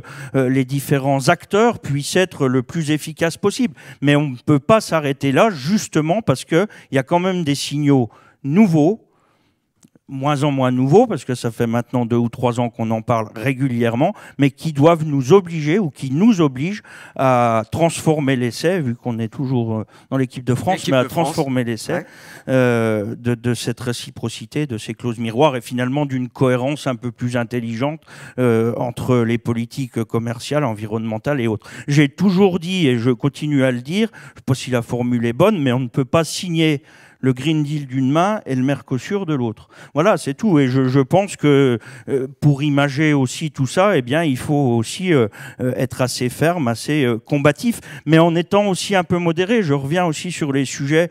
Est-ce que la France, enfin, comment la France doit se comporter avec l'Europe C'est pas toujours facile de traverser les couloirs du Parlement en étant un anti-Mercosur pour parler un peu vrai. Voilà, parce qu'on est un peu tout seul. Et donc, effectivement, qu'il ne faut pas qu'on veuille, euh, enfin, il ne faut pas vouloir imposer nos choses, mais par contre, et la profession, je pense y avoir passé un petit peu de temps à la défendre et je continue à le faire, euh, demande ça depuis des années, il faut qu'il y ait une harmonisation européenne des choses. Ça ne veut pas dire qu'il faut que les autres fassent comme la France, mais il faut que dans la réflexion, il y ait une harmonisation et il y ait une volonté, pour éviter ce que tu disais tout à l'heure, euh, d'aller commercer avec l'agriculture européenne bien identifiée. Bon, l'équipe de France, des mesures miroirs, allez-y, réagissez, envoyez-nous toutes vos réactions et surtout vos messages pour orienter et pour réussir la mobilisation. Cette demande de cohérence qui est apparue dans cette table ronde, elle est portée aussi par les consommateurs, des consommateurs qui veulent qu'on bouge sur cette question de la, qualité, de la souveraineté. Écoutez, regardez les trois questions posées à Marie-Amandine Stevenin, présidente du FC Que Choisir.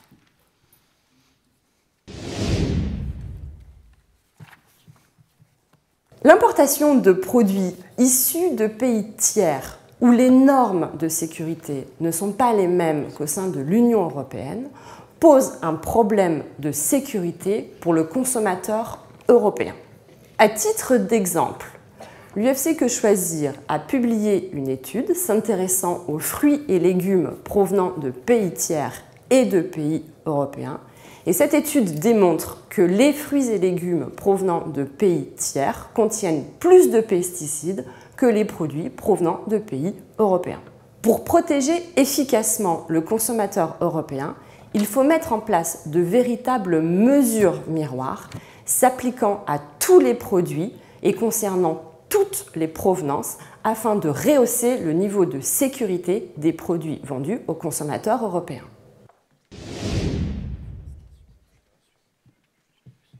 La mise en œuvre de véritables mesures miroirs permettra de rétablir une concurrence plus équilibrée entre les producteurs européens soumis à des normes contraignantes et les autres producteurs.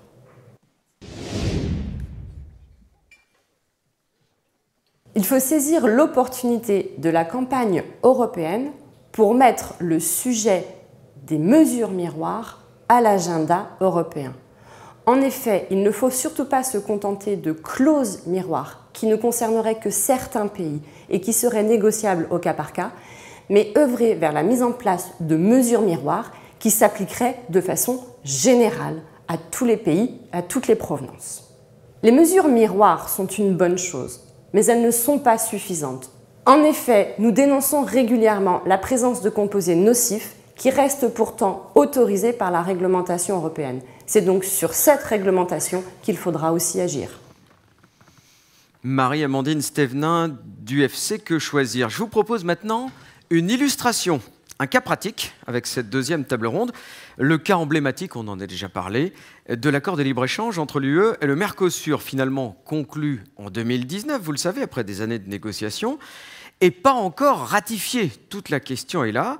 Aujourd'hui, cet accord est le symbole de la contradiction euh, de l'Union européenne entre les enjeux de durabilité et les enjeux de souveraineté alimentaire. Je vous présente nos intervenants. Thomas Utayu-Kamar, vous me reprenez si je dis des bêtises euh, pour ne pas écorcher votre nom. Emmanuel Bernard euh, d'Interbev, Thomas, vous êtes de la Fondation Nature et l'Homme. Laurent Perrette d'Intercéréales. Euh, Jean-Michel Schaeffer d'Envol l'interprofession euh, volaille de chair, et puis Dominique Potier, député socialiste de Meurthe-et-Moselle. On commence par vous, Jean-Michel Schaeffer. L'accord de libre-échange, pour vous, en volaille de chair, avec les pays de Mercosur, vous en pensez quoi? Alors pour nous, ça se traduirait par une catastrophe. Alors je vais, reprendre quelques chiffres. Euh, la viande de poulet, c'est la viande en volume la plus importée dans l'Union européenne. On a à peu près un million de tonnes de viande de poulet importée. Et on n'importe pas en fait du poulet, on importe des pièces de l'animal qu'on va consommer. Donc c'est principalement du blanc de poulet, du filet qui est importé. Et si on la ramène à la consommation européenne de, de filets de poulet, on est à peu près à un quart d'importation qui viennent de trois pays, le Brésil, donc c'est la moitié des importations, donc ce serait vraiment une catastrophe euh, si on en prenait encore plus. Euh, il y a l'Ukraine aussi, qui est un vrai sujet pour nous, avec des oligarques euh, qui nous exportent du poulet, c'est un vrai problème. Et on a la Thaïlande.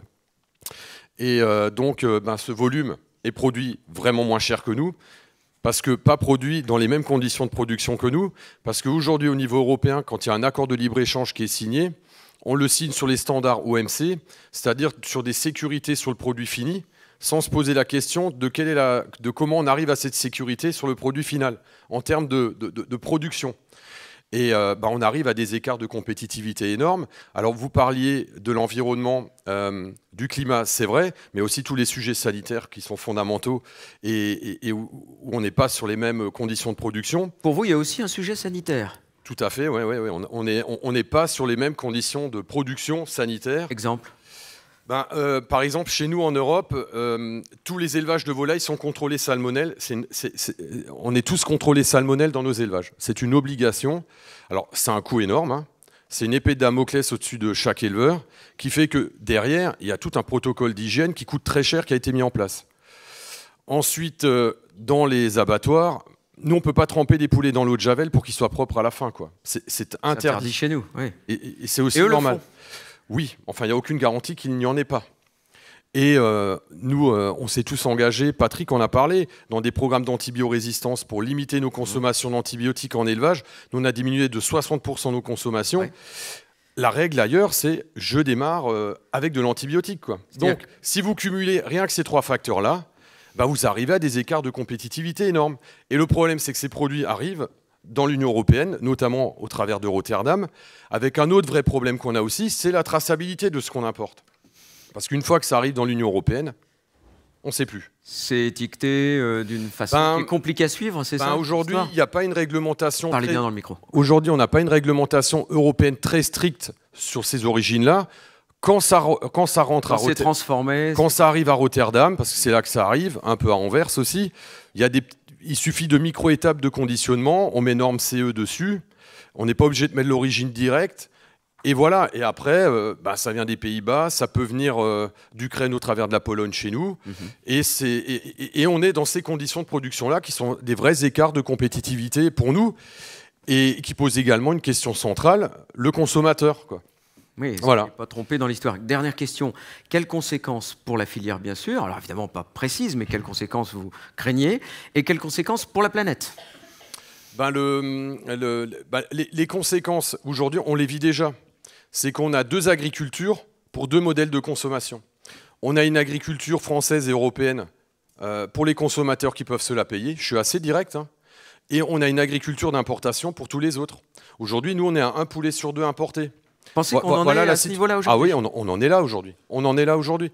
Et, et ça, c'est une situation scandaleuse parce que du coup, on va contre la sécurité alimentaire, on va aussi contre la sécurité qualitative du consommateur, et euh, la machine ne s'arrête pas. Aujourd'hui, ça continue.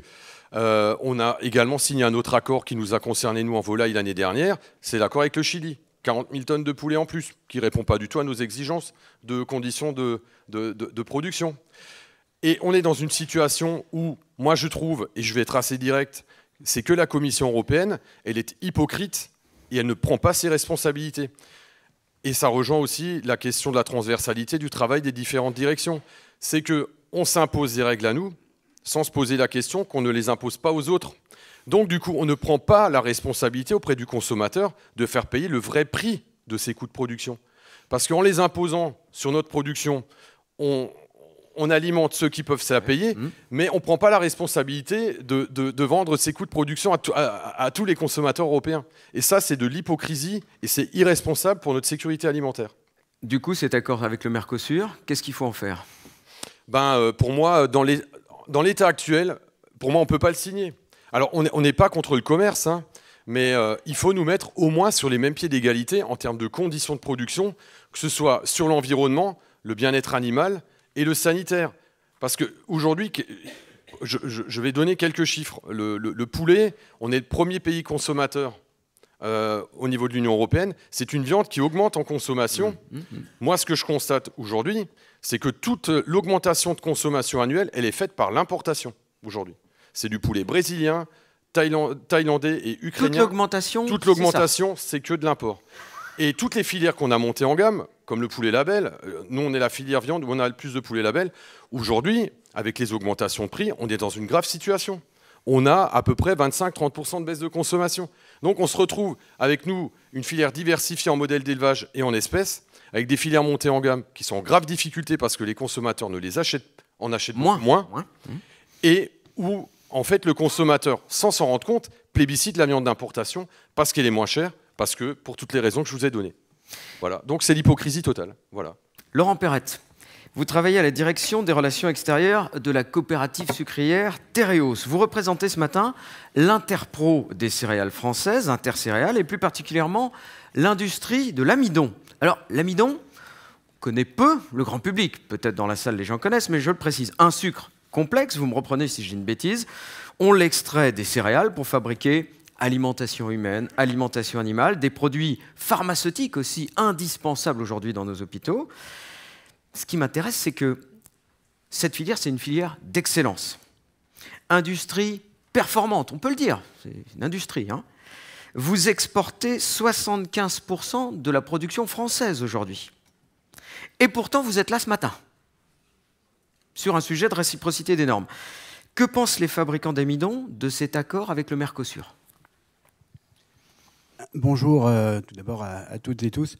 Euh, bah, vous l'avez dit, euh, effectivement, Pascal, la filière amidon est une filière d'excellence qui est au, cœur de la vie quotidienne des Français par tous ces débouchés que vous avez rappelés, mais aussi au cœur d'enjeux de, souveraineté alimentaire et industrielle en France et en Europe. Hein. On a parlé de la pharmacie, la crise Covid a montré combien l'Europe finalement était dépendante de, l'extérieur pour sa santé, pour, pour le, le, volet médicaments, par exemple. Et nous, on fait un des débouchés, par exemple, ce sont les, poches de glucose euh, dans les hôpitaux ou des, euh, débouchés en termes d'excipients pour, euh, pour les médicaments.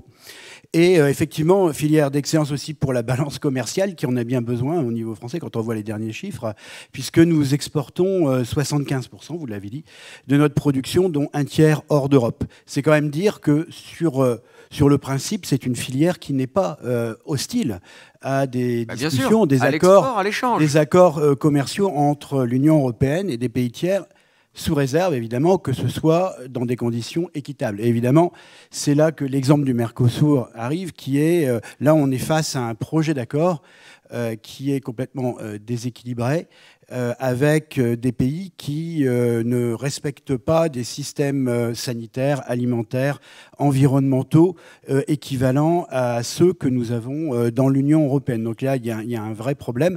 Et c'est pourquoi la filière est opposée à la signature, à la ratification de cet accord. D'accord, donc vous êtes opposé. On comprend les raisons d'inéquité, de concurrence déloyale. Quelles conséquences pourrait avoir cet accord s'il était ratifié? L'accord Mercosur. D'abord, euh, alors pourquoi le Mercosur n'est pas sûr, si j'ose dire?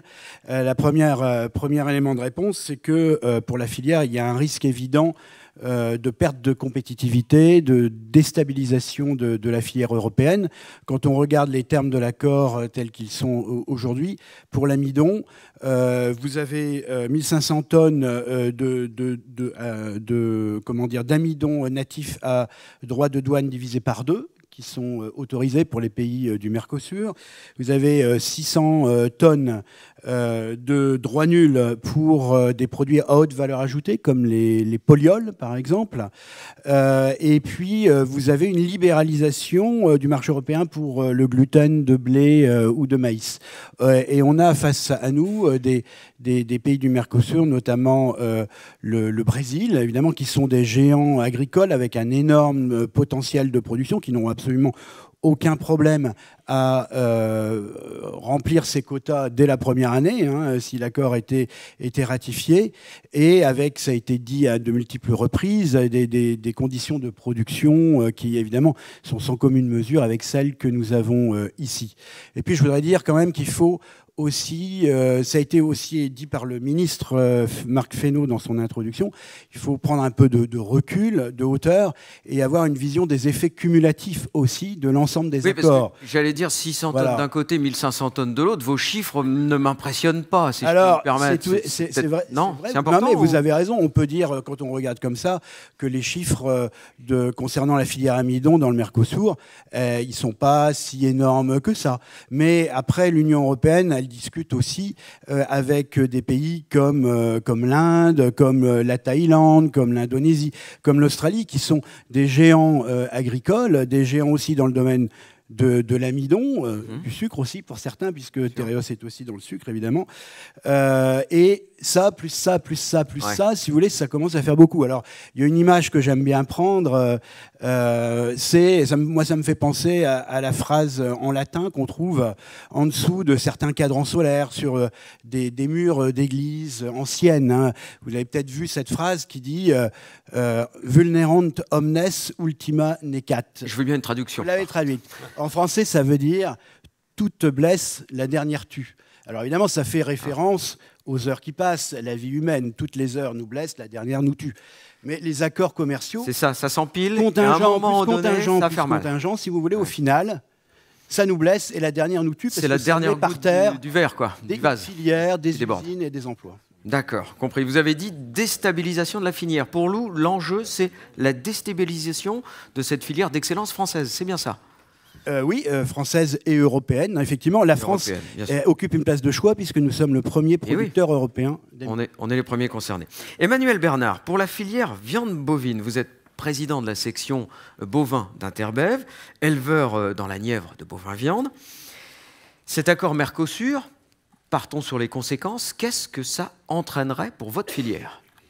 Ben, il ne faut pas le ratifier parce que, évidemment, la filière bovine française bah, a été présentée un peu par Patrick tout à l'heure, mais, euh, mais évidemment souffrirait encore une fois d'une concurrence déloyale euh, et, et, surtout on aurait un risque pour la filière, un risque euh, évidemment pour l'environnement parce que c'est évoqué, un risque pour le consommateur et par voie de conséquence, je pense un risque aussi pour le politique. Alors détaillez-nous ça. Bah, en fait, bon, pour la filière, évidemment, euh, quand on importe euh, à des conditions euh, moins disantes au niveau prix, au niveau conditions, pas besoin. Enfin, l'auditoire comprendra bien qu'on va perdre des parts de marché, on va perdre des emplois, on va perdre des éleveurs, on va perdre beaucoup de choses, sachant qu'on on, exporte toujours un tout petit peu hors, Europe, c'est toujours de la qualité, et on importe toujours, c'est pour des questions de prix ou des conditions moins disantes environnementalement. Voilà, donc il n'y a, pas de, a pas de différence. Voilà. Après, sur, sur le côté environnemental, je pense qu'on est, euh, comme le disait euh, Jérémy tout à l'heure, 25 hein, ans euh, que, qu'on a commencé de discuter, qu'on a fait une proposition dans des conditions complètement différentes. Donc on, nous remet, nous, producteurs, IED, c'est-à-dire qu'on nous remet une mesure de, de, traitement de l'élevage comme étant une mesure industrielle. Voilà, on veut, on veut considérer. C'est une mesure souhaitée par l'Europe actuellement, débattue en Europe pour, euh, aller dire, classifier et euh, aller euh, euh, oui, classifier, on va dire, les élevages selon leur densité et leur taille. Et, on met 150 UGB, c'est-à-dire, allez, l'équivalent de 150 bovins, je ouais. simple. 150 bovins, quand on sait, ce que disait Patrick, qu'un élevage euh, à partir de 150, on est industriel, on est industriel avec des normes euh, vraiment importantes. Très voilà, on cumule avec les autres productions sur un élevage. 150. 150. à partir et, de 150, et on est à 30 000 de moyenne. donc tout ça pour dire qu'on on est dans deux mondes complètement opposés. Euh, et ça, avec 25 ans, l'écriture de ce premier accord. Donc, euh, inacceptable, impossible à ratifier. Enfin, c'est pas possible. Le consommateur, parce que quoi qu'on dise, euh, si, si, on met des règles chez nous pour, pour produire en matière de produits, il y a certainement des raisons. Enfin, moi, je suis pas scientifique, je suis pas.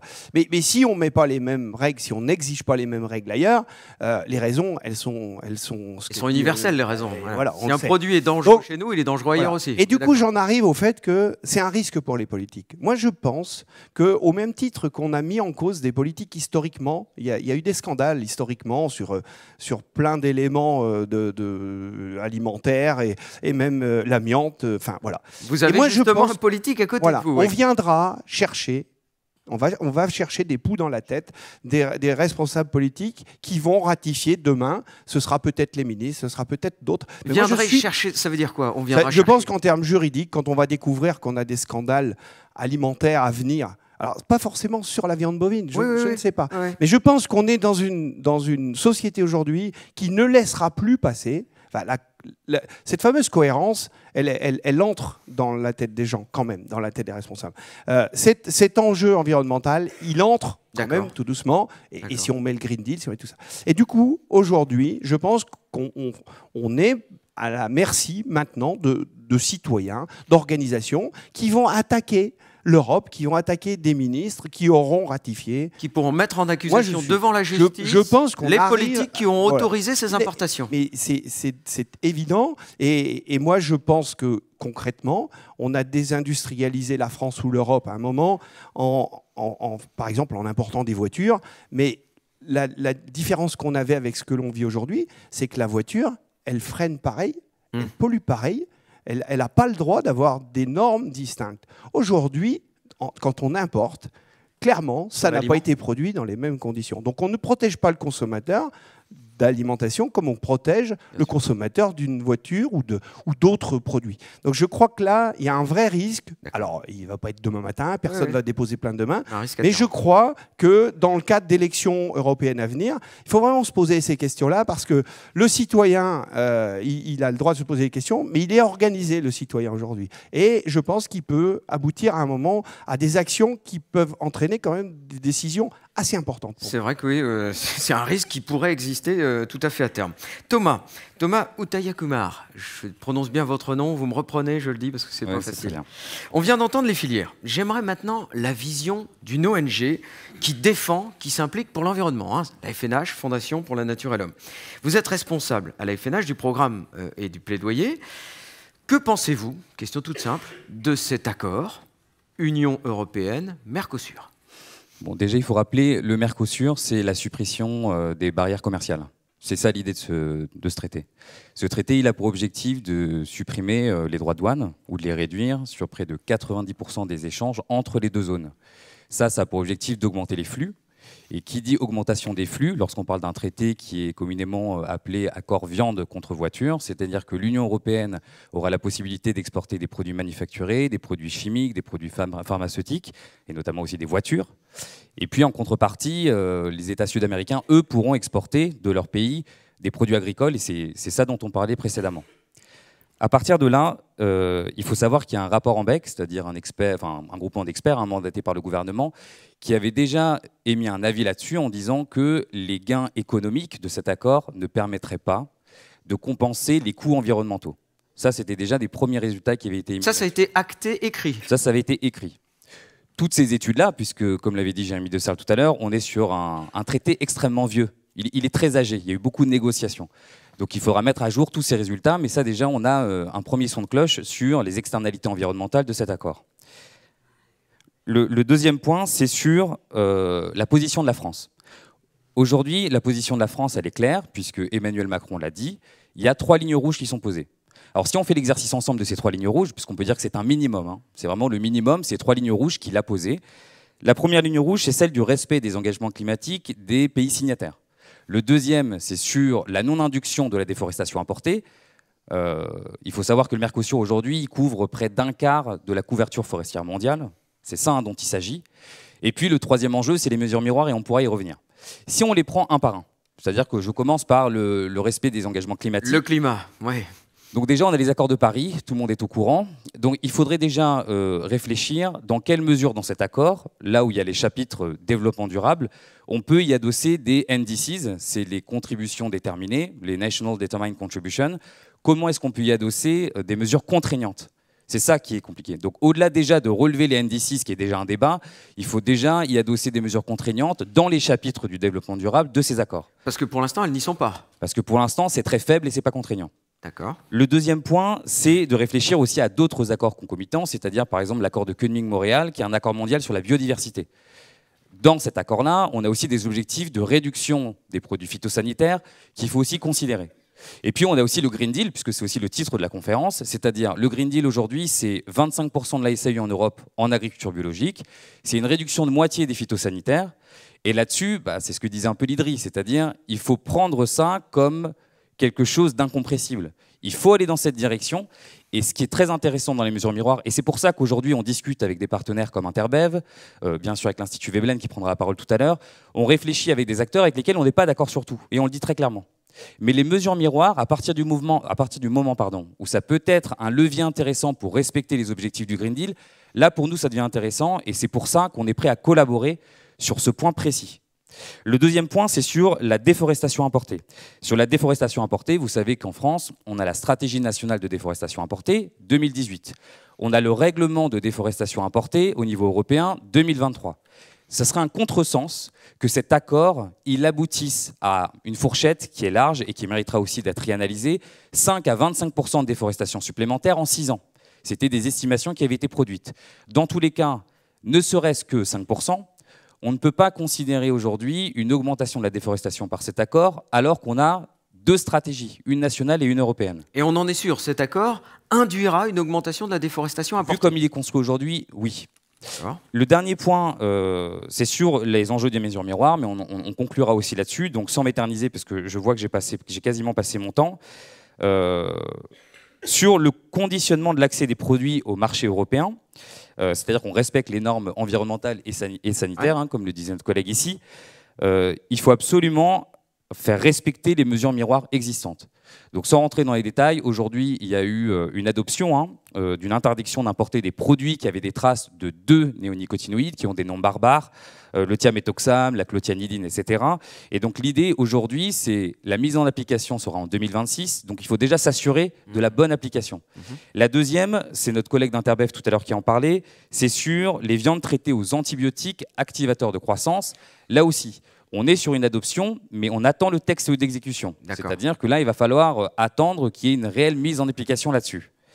Euh, et enfin, dans la mise en place de ces mesures miroirs sur les filières, sur les filières viande euh, et enfin les filières pardon, végétales et animales, on veut évidemment arrêter d'importer des produits qui ne sont pas aux normes, mais comme on le disait tout à l'heure, il faut aussi balayer devant notre porte. C'est-à-dire qu'il n'est pas question, nous, d'exporter des produits qui sont interdits chez nous. Cette agriculture à deux vitesses, elle n'a pas de sens. Et il faut absolument se remettre en question sur ce niveau-là si nous, on veut être cohérent dans nos demandes vis-à-vis des pays tiers. Et ça, c'est un point extrêmement important, ce besoin de cohérence qui a été rappelé, puisqu'on ne pourra pas avancer là-dessus si on n'est pas capable, nous, de prendre en considération ces enjeux. D'un mot, qu'est-ce qu'on fait de cet accord? On ratifie ou pas? On ratifie pas, non. On ratifie pas. Dominique Potier, vous êtes député à l'Assemblée nationale. Avant de voir la résolution que vous avez portée, est-ce qu'on peut aujourd'hui, comme vous avez fait le signe, tout arrêter? C'est possible ou pas C'était le sens de la résolution. Et moi, je ne vais pas reprendre tous les éléments de commerce déloyal parce que je pense qu'ils ont été largement documentés. Dites-nous, on peut l'arrêter ou pas d'abord ah, J'ai envie de savoir. On peut On peut, oui. C'est une question de diplomatie française, de volonté française, de, de plaidoyer de la France. On peut arrêter le mécanisme. On peut dire non c'était le sens de la résolution, et on l'a dit sur un arc politique très large, qu'elle est de Julien Diff chez les Républicains à François Ruffin euh, pour la France insoumise, en passant par les écologistes, socialistes, Renaissance, Modem, etc. Donc on l'a dit sur un très large arc républicain. La France peut dire à la Commission, au Conseil des États, qu'elle est contre ce traité.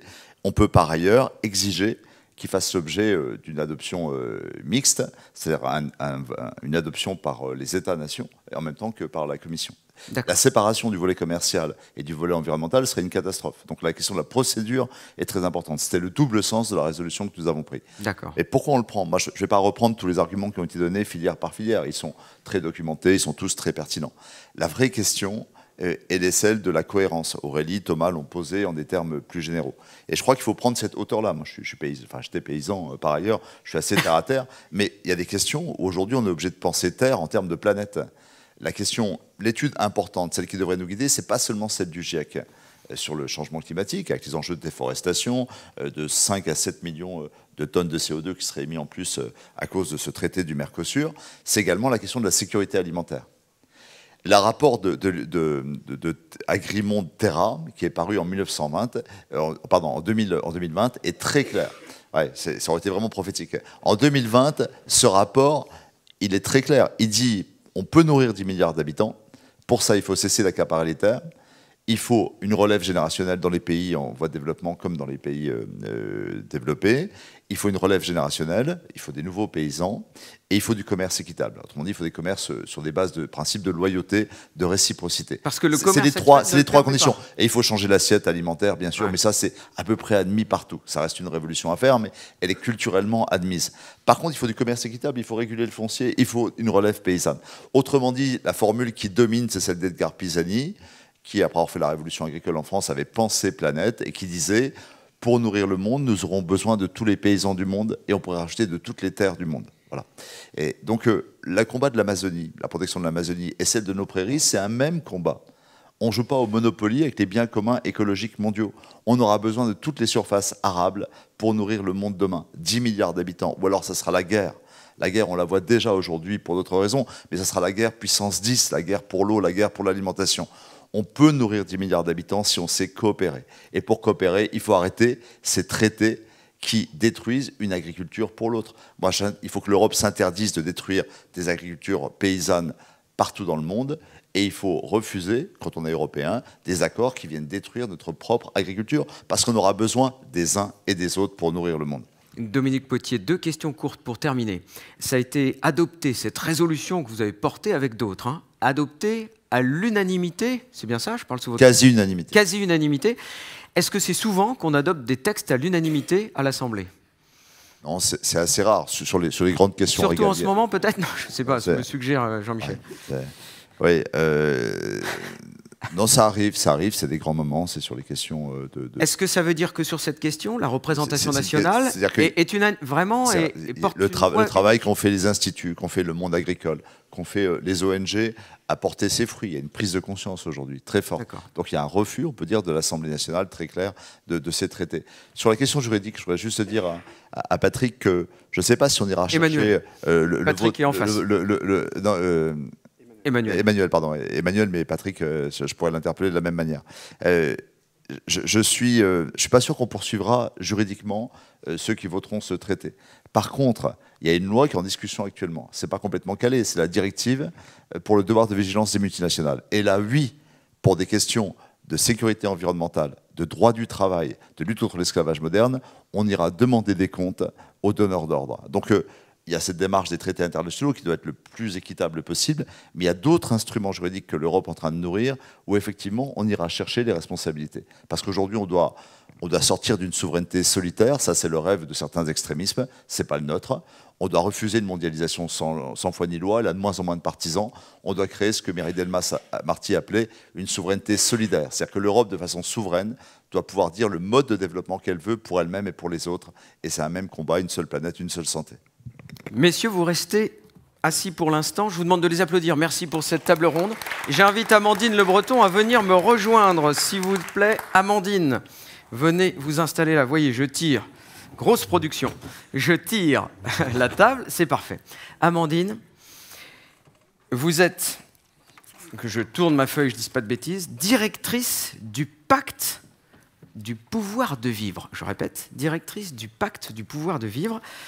Qu'est-ce que c'est que ça, le pacte du pouvoir de vivre?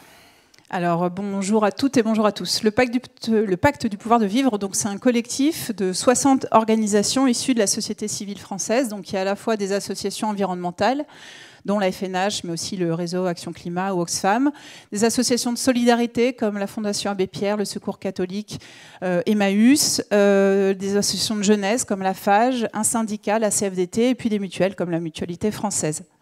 Donc euh, le pacte du pouvoir de vivre, c'est un collectif qui a été créé euh, il y a presque cinq ans maintenant. Euh, et notre objectif, c'est de montrer et de démontrer qu'on peut concilier transition écologique, justice sociale et renouveau démocratique. et surtout, il y a cinq ans, l'état d'esprit, c'était de se dire qu'il fallait tous qu'on sorte de, notre couloir de nage. quand on était dans une association environnementale, on avait tendance à évoquer les sujets sociaux, mais pas complètement aller travailler sur le fond, et je peux faire évidemment la déclinaison pour les autres organisations. Donc voilà, on travaille ensemble et on porte ensemble 90 propositions, dont celle sur les mesures miroirs. Dont celle sur les mesures miroirs, c'est l'objet de ma deuxième question. Alors, si je dis des bêtises, vous me reprenez, 60 organisations, sociétés civiles, réunies, vous n'avez pas prononcé le mot, mais après la crise des Gilets jaunes oui, tout à fait, ah, était le déclencheur démocratique, social et écologique. Euh, Emmaüs, ATD Carmonde, CFDT, Oxfam et toutes les autres que je ne cite pas. On est ici à une conférence, j'allais dire, où on a l'habitude de se rencontrer. Aujourd'hui, c'est courant entre ONG, monde agricole et politique. On discute ensemble. Vous, vous êtes, je le répète, hein, Emmaüs, ATD Carmonde. Qu'est-ce que vous fichez là aujourd'hui sur les mesures miroirs? Alors d'abord, je disais, on a 90 propositions et parmi ces 90 propositions, on en a une sur euh, les mesures miroirs, euh, qui est le fait de les mettre en place pour toutes les raisons qu'on a évoquées jusqu'ici. Euh, je pense que ma présence, elle démontre que c'est un enjeu qui dépasse le monde agricole. elle dépasse le débat d'experts dont vous êtes en partie ici, mais pas seulement, je crois. Et donc, euh, ce sujet, euh, le fait que ça soit porté par ces organisations, euh, c'est vraiment un signe qu'il faut aussi que ça sorte du débat d'espoir. Ce n'est pas seulement une réalité, c'est qu'il faut le sortir de la question, j'allais dire, purement agricolo-agricole. Alors pourquoi? Donc sur le fond, on a beaucoup parlé de Green Deal. Évidemment, toutes les organisations du pacte du pouvoir de vivre soutiennent la nécessité d'accélérer le Green Deal, de le mettre en place. Euh, pour les raisons environnementales qu'on a, a évoquées, qu'a rappelé Thomas, mais aussi parce que pour nous, collectivement, c'est clairement euh, parmi les conditions de réussite et les conditions de survie presque de l'agriculture euh, demain. C'est-à-dire que sans le Green Deal, on scie quelque part la branche sur laquelle on est collectivement assis. Et donc ça, c'est une prise de conscience très forte des organisations, au-delà des organisations environnementales du pacte. Le deuxième enjeu qui est pour nous associé à, la question de ce matin, euh, autour des mesures miroirs et du, juste, euh, euh, commerce, c'est justement les enjeux de justice, qui sont une dimension très forte partagée par nos organisations. donc quand on parle de justice, évidemment, sur les mesures miroirs, on parle de juste échange, de juste rémunération des agriculteurs et des agricultrices, de juste répartition des efforts aussi. C'est-à-dire qu'on est conscient euh, collectivement que le Green Deal, c'est un changement de pratique, de système, que ça repose sur une volonté politique, individuelle et des entrepreneurs que sont les agriculteurs et les agricultrices, mais, il faut que tout le monde joue ce rôle. Et donc cette question de la cohérence et du rôle des politiques publiques, de la diplomatie euh, et de la manière dont on pense le commerce demain, en fait, elle doit être pensée pour pas laisser euh, les agriculteurs c'est-à-dire seul, quelque part, faire cet effort-là, cet effort d'aller vers une transition agroécologique. Euh, le deuxième enjeu, c'est celui de la santé publique, évidemment, puisque euh, quand on parle de, changement climatique, mais aussi euh, de pesticides, il y a un enjeu de santé publique, ici, en France, en Europe, mais évidemment aussi dans les pays tiers avec ceux avec qui on, commerce. Et puis le dernier, c'est l'enjeu de cohérence des politiques publiques, qui est un enjeu extrêmement fort pour le pacte du pouvoir de vivre. On sait qu'on a un certain nombre de politiques publiques qui se croisent et ce qu'on observe, c'est que quand il y a des forces qui s'opposent, eh évidemment, ça joue plus pour l'immobilisme que pour euh, l'accélération. Donc cet enjeu de cohérence sur les sujets euh, écologiques, sociaux et démocratiques, il est vraiment très fort. Donc voilà, donc pour nous, clairement, le dernier mandat, ça a été dit euh, tout à l'heure, hein, ça a été un mandat de prise de conscience et de, euh, changement culturel sur cette question du commerce. Et euh, pour nous, le, prochain mandat, c'est celui de, ça doit être celui de l'action, de la mise au concret de, de ces, enjeux sur les mesures miroirs. Merci Amandine, je trouve que c'est extrêmement fort que vous soyez présent ce matin justement pour représenter ces associations qu'on entend peu dans nos débats et pourtant qui sont fondamentaux, alimentaires, agricoles. Et à tel point, vous avez dit, hein, j'ai noté, il faut sortir du débat d'experts agricolo-agricoles. Eh bien, on va le faire. On va le faire euh, immédiatement avec euh, un film parce qu'il n'y a pas que des ONG, il n'y a pas que des think tanks, il n'y a pas euh, que des experts qui discutent de ça. Il y a aussi de simples citoyens.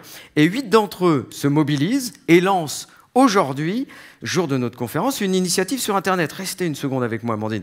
Il s'agit, ils sont du monde agricole, ils sont cuisiniers en collège, ils sont entrepreneurs engagés dans la transition, et ils lancent donc une campagne d'information et de mobilisation citoyenne sur Internet pour garantir la durabilité des produits qu'on trouve dans nos assiettes. Ça s'appelle Mon assiette, mon choix, on regarde.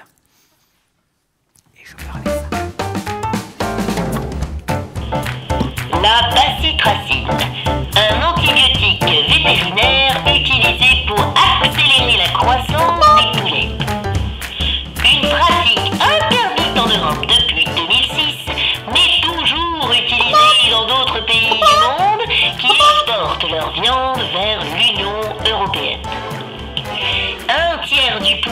importé dans l'Union européenne vient aujourd'hui du Brésil.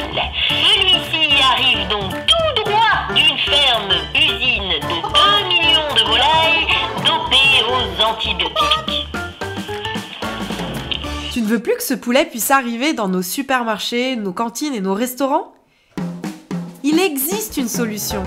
Modifier la loi européenne pour faire en sorte que tout aliment apporté sur le marché européen respecte les standards sanitaires et environnementaux de production déjà imposés aux agriculteurs de l'Union européenne. Et ça tombe bien, en juin 2024, ce sont les élections européennes. Ton choix compte, c'est le moment de le faire respecter. Voilà, il manquait une chaise. Pardon. Voilà, pardon, il manque une chaise, je la donne évidemment et je vais rester comme ça. Alors, ça s'appelle Mon assiette, mon choix. On en reverra un deuxième extrait tout à l'heure. Ça démarre sur Internet et ça se partage sans aucune modération. Allez-y, évidemment. Alors, et maintenant, qu'est-ce qu'on fait? Comment on traduit tout ce qu'on vient de dire en actes concrets? C'est évidemment l'objectif premier de notre conférence. Le constat, il est partagé de ce qu'on a entendu. L'ambition, elle est partagée. Qu'est-ce qu'on demande à nos députés européens qui vont être élus au printemps D'inscrire dans la loi? Nous avons Anne Sander euh, qui est députée euh, euh, européenne. Nous avons Stéphanie, Capenou de l'Institut Veblen. Bonjour Stéphanie. Michel Boudouin de la section ovine d'Interbev et présidente de la Fédération nationale ovine. Nous avons Guillaume Gauthier, euh, Interbev, interprofession de la viande bien sûr, président de la commission enjeux sociétaux d'Interbev, éleveur. Franck Laborde, vous êtes président de l'Association générale des producteurs de maïs. Et Alain Carré, vous êtes euh, de l'AIBS, Association euh, interprofessionnelle de la betterave et du sucre, et vous êtes planteur, hein, c'est bien ça, Alain Alain, on va démarrer avec vous, avec la filière sucre. Prenez un micro, je vous en prie. Le sucre est une commodité, le, le mot ne vous dérange pas si je dis ça, c'est une commodité euh, qui de tout temps s'est échangée entre, entre pays européens d'abord et entre l'Europe et le reste du monde. On reçoit du sucre et parfois on, en vend, vous allez nous dire. Aujourd'hui, vous êtes ici à cette conférence. On n'aurait pas imaginé votre présence sur ce sujet il y a quelques années. Pourquoi est-ce que vous êtes là? Quelle est la situation chez vous? Eh ben, tout à fait. D'abord, euh, merci, euh, merci Interbev de, de faire cette journée. Euh, donc euh, oui, le sucre, c'est une communauté, c'est une communauté qui s'échange beaucoup. Euh, il faut savoir qu'en Europe, on consomme 17 millions de tonnes de sucre et en Europe, on en produit 15. Donc forcément, il y a un échange. Les échanges datent depuis fort longtemps. C'est un effet cumulatif d'échanges, de, d'accords commerciaux.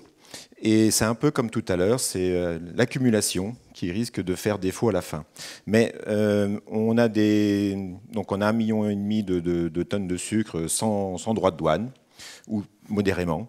On, a aussi des, pays ACP, PMA où là c'est sans limite, donc c'est vraiment de la, coopération pure et dure. Et là dernièrement, on, on importe énormément de sucre d'Ukraine, donc de 20 000 tonnes euh, il y a deux ans 400 000 tonnes aujourd'hui, et on parle de 700 000 tonnes euh, pour euh, cette campagne. Donc ça représente à peu près 4-5 usines françaises. Ah oui. Est-ce que c'est une menace pour nos usines, pour notre filière? Bah, oui, c'est une menace. On, on, a un marché qui est équilibré en Europe et il ne faut pas le déstabiliser du fait, bah, on a parlé tout à l'heure du Green Deal, et il faut arriver à, à arriver à terme du Green Deal, et ça, ça, ça compose euh, notamment bah, un prix adéquat pour les planteurs et à un prix adéquat également pour les fabricants pour euh, la, la durabilité du, du système. Qu'est-ce que vous demandez du coup aujourd'hui? Quelles sont les mesures que vous demandez à nos décideurs politiques? Alors, les, les mesures, euh, enfin, les menaces donc, de ces fameux accords commerciaux, donc, euh, les, les, pays qui, donc le Mercosur, l'Inde, le Brésil, ce sont des géants sucriers. Euh, c'est des pays sans aucune mesure. L'Inde, c'est 32 millions de tonnes de, de production de sucre. Nous, c'est 15 pour un seul pays. Donc, euh, à vrai dire, tout ça, ça compose énormément d'inquiétudes. Alors, bien sûr, les mesures miroirs, on les voit d'un très bon oeil. Euh, mais à condition de savoir de quelles mesures on parle. Par, par exemple, tout à l'heure, on parlait des LMR pour les néonicotinoïdes. Oui. Donc, euh, c'est bien, mais nous, on considère que c'est une fausse mesure miroir, étant donné que ces LMR, c'est sur le produit fini, le sucre. Alors, LMR, limite maximale de résidus, qui est contrôlée sur ce qui arrive chez nous en Europe, hein, c'est voilà, bien ça. Voilà. Ça, c'est insuffisant à vos yeux Oui, parce que le sucre, c'est un cristal, et dans ce cristal, on n'y retrouve strictement rien. Donc, euh, nous, on ne peut pas voir une trace de produit phyto Aucune. Donc, euh, ce qu'on demande, nous, c'est à la Commission européenne et aux députés européens, c'est d'instaurer des contrôles sur place dans chaque pays si jamais euh, on vient appliquer des accords commerciaux avec ces pays des contrôles sur place, des filières dédiées qui garantiraient le non-emploi de tel ou tel produit phyto. Voilà, ça c'est vraiment la, la, première mesure. Ensuite, on demande également à ce que le sucre soit inscrit dans la déforestation importée. Pour l'instant, il n'y est pas.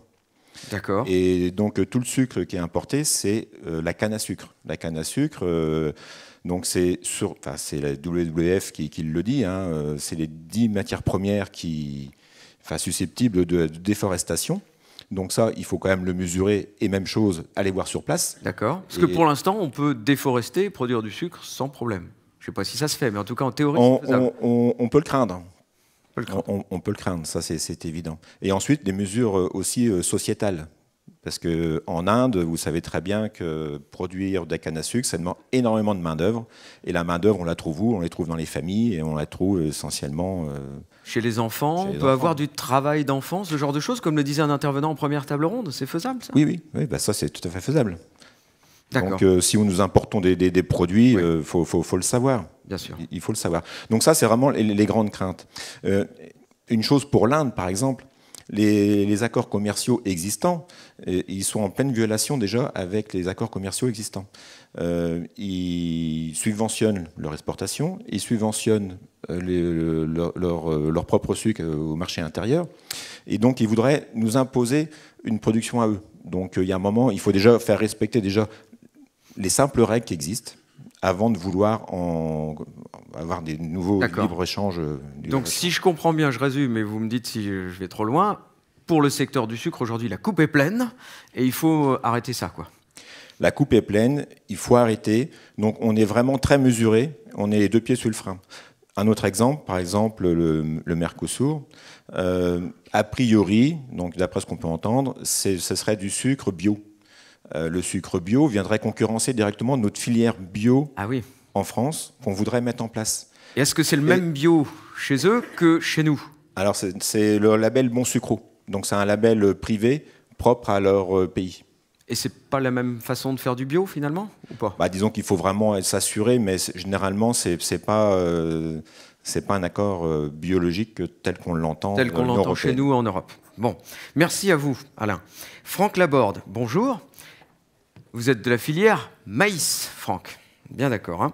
Président de l'Association générale des producteurs de maïs. Euh, le maïs est comme le sucre, finalement, une filière euh, d'excellence, filière forte. Jusqu'à présent, la concurrence, on va le dire, ne faisait pas peur. Euh, même question. Pourquoi vous êtes là aujourd'hui? Quelle est la situation dans votre filière? Ben, Je suis là pour témoigner. Pour témoigner, pour que les participants aient les clés pour se prononcer en connaissance de cause. Et euh, bien évidemment, je vais vous parler de maïs et je vais vous parler de pays dont on a déjà parlé. Nous sommes devenus en Europe le premier importateur mondial de maïs.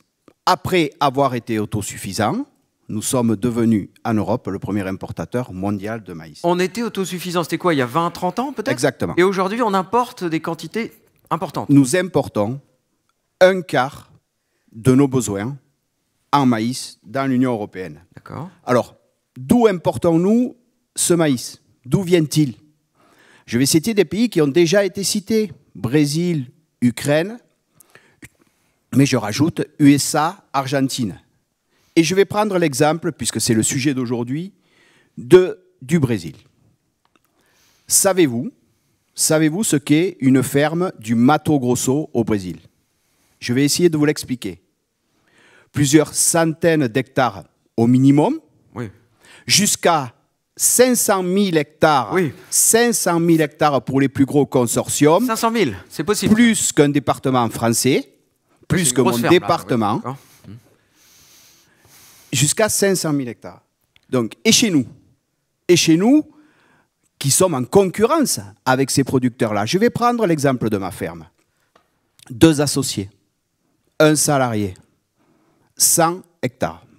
100 hectares. 20 hectares d'herbe parcours pour élever des canards en plein air, 10 hectares de jachère et le reste euh, en production de maïs essentiellement. Voyez la différence? Ah oui, je la vois bien. Je reviens au Brésil. Je reviens au Brésil. Des pratiques différentes des nôtres. Lesquelles? Quasiment tout le maïs brésilien est OGM. Nous avons documenté, nous sommes en train de terminer une documentation à la GPM qui va faire mettre en lumière que 78% des produits de traitement utilisés au Brésil, 78%, sont interdits en France. 80% des produits qu'ils utilisent sont interdits chez nous. Vous exagérez. 78%. 78%. Ok. Et puis, et puis sujet, sujet dont on a parlé déjà ce matin, la déforestation. Hmm. Au Mato Grosso, le Cerrado est en train de laisser la place au soja et au maïs. Alors, une fois qu'on a fait ce constat, qu'est-ce que je dis À la GPM, qu'est-ce qu'on dit? Que dit le syndicaliste agricole que je suis? Je dis, on est en flagrant délit d'importation de l'agriculture que l'on ne veut pas, que l'on ne veut pas, que personne ne veut ici. on est très clairement mis en concurrence de façon déloyale. Et je vais vous donner un autre chiffre, un autre chiffre. Pendant ce temps que l'on palabre, que l'on hésite en Europe à mettre des réglementations contraignantes pour nos importations, le Brésil augmente sa sole maïs tous les ans, tenez-vous bien, de 400 000 hectares. 400 de 000, c'est un petit peu ce 400 qu'on 000 fait chez nous, hectares, là. nous, produisons en France un peu moins d'1,5 million d'hectares de maïs grain. Et ça, depuis 20 ans. D'accord. Bon, donc on a bien compris la, la résolution. Il faut mettre un terme à tout ça. Stéphanie Capenou, vous êtes euh, de l'Institut euh, Veblen, chargé euh, du plaidoyer. On vient d'entendre deux filières végétales qu'on n'imaginait pas là. Bon, je l'ai déjà dit plein de fois, mais qu'on n'imaginait pas là il y a encore des années. Elles nous disent que ça ne fonctionne pas, qu'il y a un danger. Est-ce qu'on peut techniquement, juridiquement, par exemple sur les limites maximales de résidus, sortir de ce système et instaurer des filières dédiées qui seraient contrôlées sur place et qu'on ait la garantie que certains produits, 78% nous dit-on en, en maïs, ne seraient pas utilisés. Est-ce que c'est possible? Alors, deux points. Alors, c'est sûr qu'il faut un, un abaissement automatique euh, des LMR au seuil de détection euh, pour toutes les substances qui sont interdites en Union européenne. Ce qui n'est pas le cas aujourd'hui? Non. Euh, à l'Institut Veblen, on s'est amusé euh, début, début 2023 à, à- faire un petit recensement. On a vu qu'il y avait 64 substances interdites en 2023 ou non approuvées, euh, pour lesquelles il existait des LMR supérieurs au seuil de détection. Donc ça, c'est un point. Il y a un travail qui est a priori en cours sur les substances interdites pour des raisons sanitaires, mais on n'a aucune visibilité sur, sur le calendrier de travail. Et pour les substances interdites pour des raisons euh, environnementales, on l'a déjà évoqué, euh, euh, la Commission européenne en est à ses tout premiers pas, euh, avec une première mesure miroir euh, adoptée sur deux néonicotinoïdes, je ne dirai pas le nom, enfin clothianidine, Peu importe. etc., ouais. voilà, adoptée en, en- en 2023, mais qui entrera euh, en, en application effective au mieux en, mars 2026. Ouais. C'est un premier pas, ça. Mais c'est un premier est-ce que pas. C'est suffisant. C'est un premier pas. Donc, alors, je veux déjà dire que euh, revenir sur euh, effectivement ce, ce délai entre euh, la, publi- la publication des, des actes et leur entrée en application effective, c'est sûr qu'à ce rythme, ça va prendre des années en fait de combler l'écart réglementaire qui existe, sans compter aussi les nouvelles décisions attendues du fait des objectifs de, de- de réduction de l'utilisation des pesticides. Et puis, euh, effectivement, cette approche par les LMR, elle apparaît euh, très mal adaptée pour des interdictions euh, qui portent sur la protection de l'environnement. Et en fait, on, on identifie plusieurs lacunes dont on a Oui. déjà parlé. Sur le sucre, on ne peut pas le détecter. Voilà, alors déjà. déjà, alors, le premier point, c'est que l'approche par les LMR ne, ne couvre pas tous les produits importés. L'alimentation animale n'est pas couverte. Les usages énergétiques ou ornementaux, ornementaux, je parle par exemple des fleurs, sont pas couverts. Et effectivement, ensuite, l'approche par les LMR ne garantit pas euh, l'absence d'utilisation euh, du produit euh, pendant la production, quoi. mais seulement qu'il y a une absence de traces dans le produit fini. Voilà.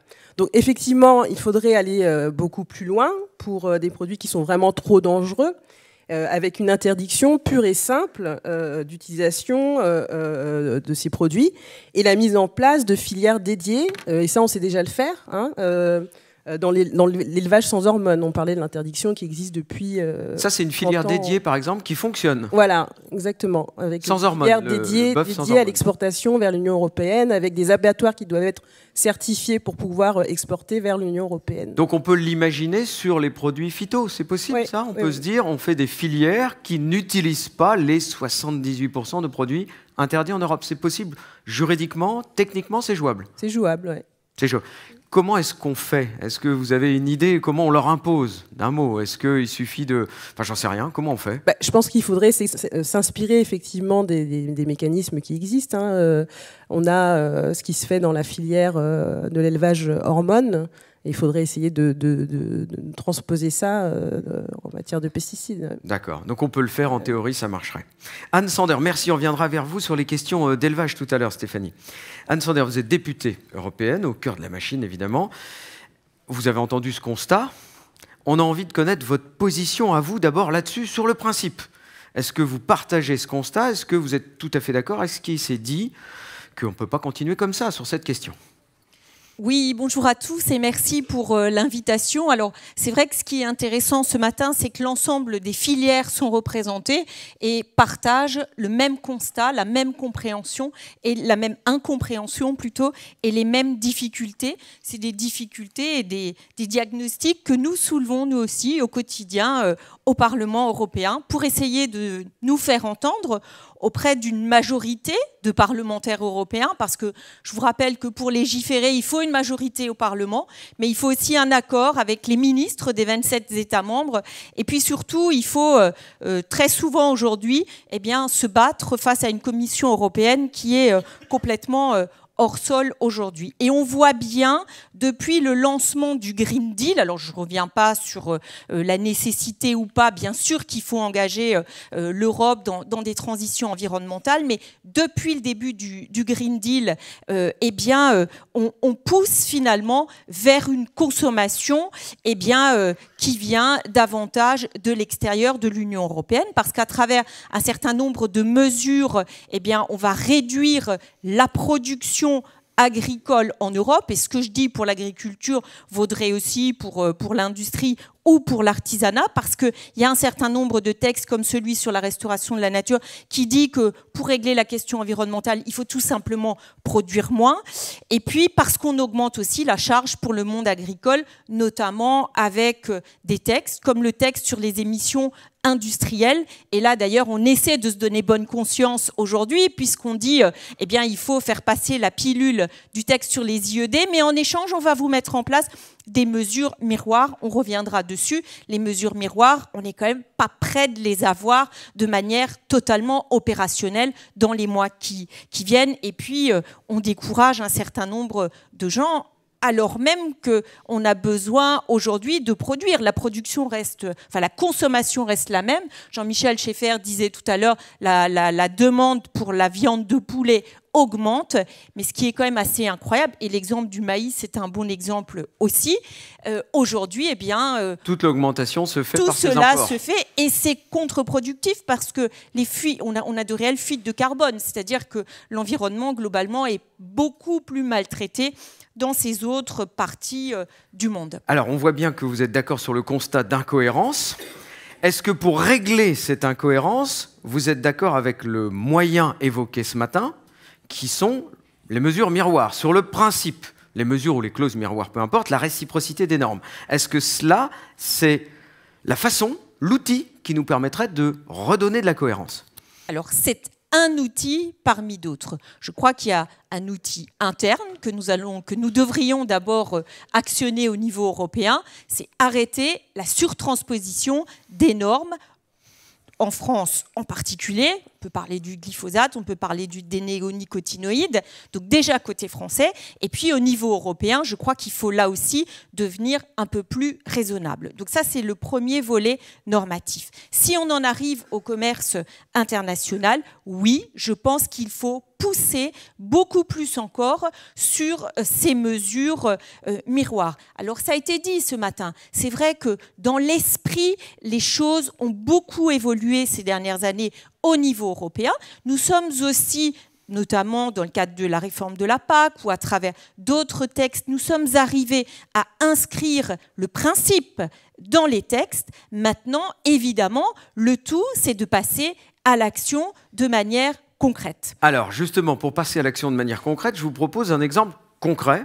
L'élevage, l'élevage bovin viande. Guillaume Gauthier, vous êtes éleveur bovin viande, représentant Interbev. Je ne reprends pas vos titres. Dites-nous, vous avez bossé la question, pas vous, mais Interbev travaille sur cette question depuis des années. Quelles sont les deux ou trois mesures que vous demandez? Bonjour à tous. Effectivement, il y, a, il y, a, deux, trois mesures. Il y a deux mesures, une clause de conditionnalité qu'on pourrait demander et appliquer assez rapidement. Euh, la première, euh, il en a été question tout à l'heure, c'est ce qui concerne les antibiotiques promoteurs de croissance. Effectivement, euh, c'est apparu au niveau de l'Union européenne dans un texte sur les médicaments vétérinaires en 2018. Ça fait déjà un petit bout de temps que c'est apparu quand même. en demandant leur interdiction, c'est ça? Non? Bah, C'est un texte qui est apparu, effectivement, où clairement, on, bah, on stipulait cette notion-là. Alors, vous, vous allez voir, je vais, je vais, je vais vous venir aujourd'hui à peu coupé, près Guillaume.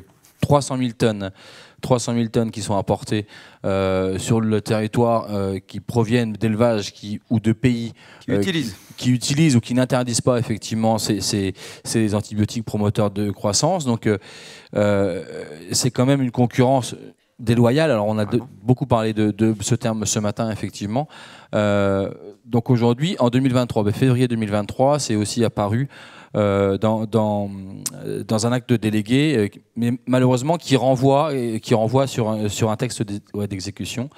La problématique, c'est qu'on n'a pas de date sur ce texte d'exécution et encore moins sur le vote de ce texte d'e- d'exécution. Donc on a l'impression qu'on glisse cette, euh, cette mesure dans les différents textes, qu'on en parle, qu'on en parle, mais que pour l'instant, on n'arrive pas à aboutir. Donc ça se rapproche. hein. 2018, c'était il y a 5 ans. On espère que ça ira, que ça ira beaucoup plus vite. Euh, après, euh, la deuxième, pour faire vite, après, s'il faut, je, je- je réagirai. Euh, on a aussi tout ce qui est mesure miroir sur la traçabilité. Euh, la traçabilité, l'identification. Vous savez, moi en tant qu'éleveur, euh, quand un petit veau naît, on, on en voit juste derrière qui défile depuis ce matin, enfin, pas là, mais quand un petit veau naît, euh, ben, on le boucle, on lui met une petite boucle, on l'identifie et à partir de là, il a un passeport qui le suit euh, ben, jusqu'à la barquette finale, euh, où tout sera noté dedans, euh, des médicaments qu'il va avoir, des traitements, des vaccinations, etc. Donc clairement, on- le consommateur est alerté et prévenu. S'il y a un souci, on peut y référer parce qu'on a toute la vie de l'animal.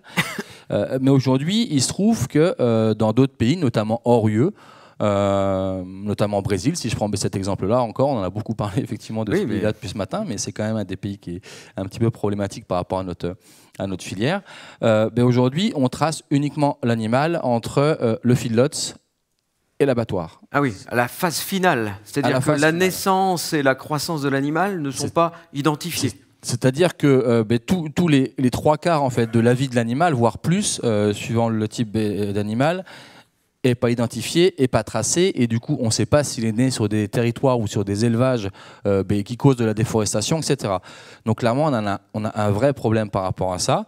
Euh, c'est aussi une, sécurité par rapport au- aux consommateurs, et je pense qu'à Tabev, on, on le dit assez souvent, on veut que le consommateur soit alerté de ce qu'il puisse consommer, de ce qu'il mange, de la façon dont c'est produit, de la façon dont c'est soigné, euh, et puis les, hommes et les femmes qui sont les éleveurs de, de- de ces élevages-là également. Euh, donc voilà, donc clairement, il faudrait bah, qu'on puisse aller aussi sur cette mesure-là. Euh, ça fait partie des, des- des deux mesures un peu prioritaires. Euh, Est-ce qu'il y en a une troisième? Oui. bah, il y en a une troisième, alors c'est une clause de conditionnalité, alors qu'on appelle, euh, on va dire plus souvent clause miroir, même si le vrai terme c'est clause de conditionnalité, où du coup c'est arrivé, c'est la clause sur l'élevage à l'herbe et sur euh, euh, la non-importation de viande issue de, de feedlots. C'est-à-dire, on peut dire dans un accord de libre-échange, on veut que les animaux soient issus d'élevage à l'herbe. On peut le dire, ça. C'est ça, enfin, oui, qu'ils soient issus d'élevage à l'herbe et euh, qu'ils soient surtout pas issus euh, d'élevage euh, feedlot. Alors, on l'a fait, magique, enfin pas moi, hein, mais ça a été fait, effectivement, ça a été glissé dans un accord. Alors, il se trouve que l'accord, c'est la Nouvelle-Zélande et il n'y a pas de feedlot et les animaux sont plutôt élevés à l'herbe. Donc, on va se dire, c'était plutôt fastoche de le mettre Ouais. dans celui-ci. Ça n'entraînait rien, pas de fastoche, si Mais ça a été mis quand même. pas moi qui l'ai glissé, Hmm. Euh, mais ça a été mis. Alors on peut se dire que du coup, oui, c'est mettre un petit peu ben, ces mots-là dans, un, euh, dans un, un accord pour le mettre mais sur tous les autres. Et ben, c- ça tombe bien malheureusement. L'Australie, on en parle, il arrive.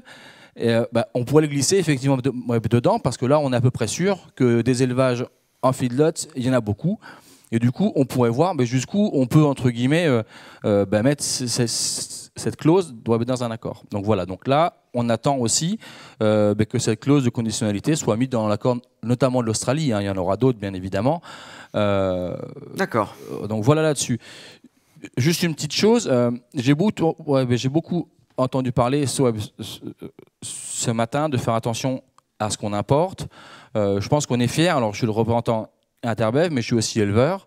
Je suis fier de mon territoire, fier de mes prairies, fier de mon économie locale, fier d'être éleveur, fier des hommes et des femmes qui font cet élevage, et enfin fier de mes, animaux. Donc, quand on veut des mesures miroirs ou des clauses miroirs, c'est pas pour faire comme les autres, mais c'est pour que les autres essayent de faire comme nous. Au moins, qu'on assure aux consommateurs ben, que ce qu'ils mangent, c'est fait. C'est aussi ce qui a fait baisser le territoire autour de lui. Voilà, c'était juste ce petit mot que je voulais dire parce que c'est assez important et en tant qu'éleveur, j'ai besoin aussi de, de leur appuyer. J'entends, c'est votre identité qui parle. Michel, Michel Boudouin, vous représentez la section ovine d'Interbev, présidente de l'Association des éleveurs français de moutons, la, la Fédération nationale ovine. Alors, j'allais dire, dans le mouton, c'est pas nouveau. Mm. Dans les années 80, on vient de citer la, c'est bien la Nouvelle-Zélande, hein, vous allez me confirmer, euh, on importe euh, sous différents noms, on ouvre les frontières. D'un mot, parce que vous voyez le temps qui est fini, mais enfin fini, il n'est pas fini. Euh, quel bilan vous tirez de cette ouverture des frontières dans votre secteur mouton, de cette ouverture notamment à la Nouvelle-Zélande aux imports? Alors d'abord, je remercie vraiment Interbev de donner la parole à la filière ovine. C'est un petit secteur économique au niveau européen, mais il a tellement euh, souffert, et je veux dire, il faut s'en inspirer. Euh, et pour être factuel, j'ai juste repris quelques chiffres pour vous les énumérer et pour vous faire ce bilan euh, d'accords de, libre-échange avec euh, la Nouvelle-Zélande et l'Australie et le Chili et j'en passe et des meilleurs depuis, depuis les années 80. Eh bien, en 1980, l'Europe, et je parle sous le contrôle de Anne, était autosuffisant à 120% sur la filière ovine européenne. En 2019, elle est à 90%. En 2022, elle est à 80%.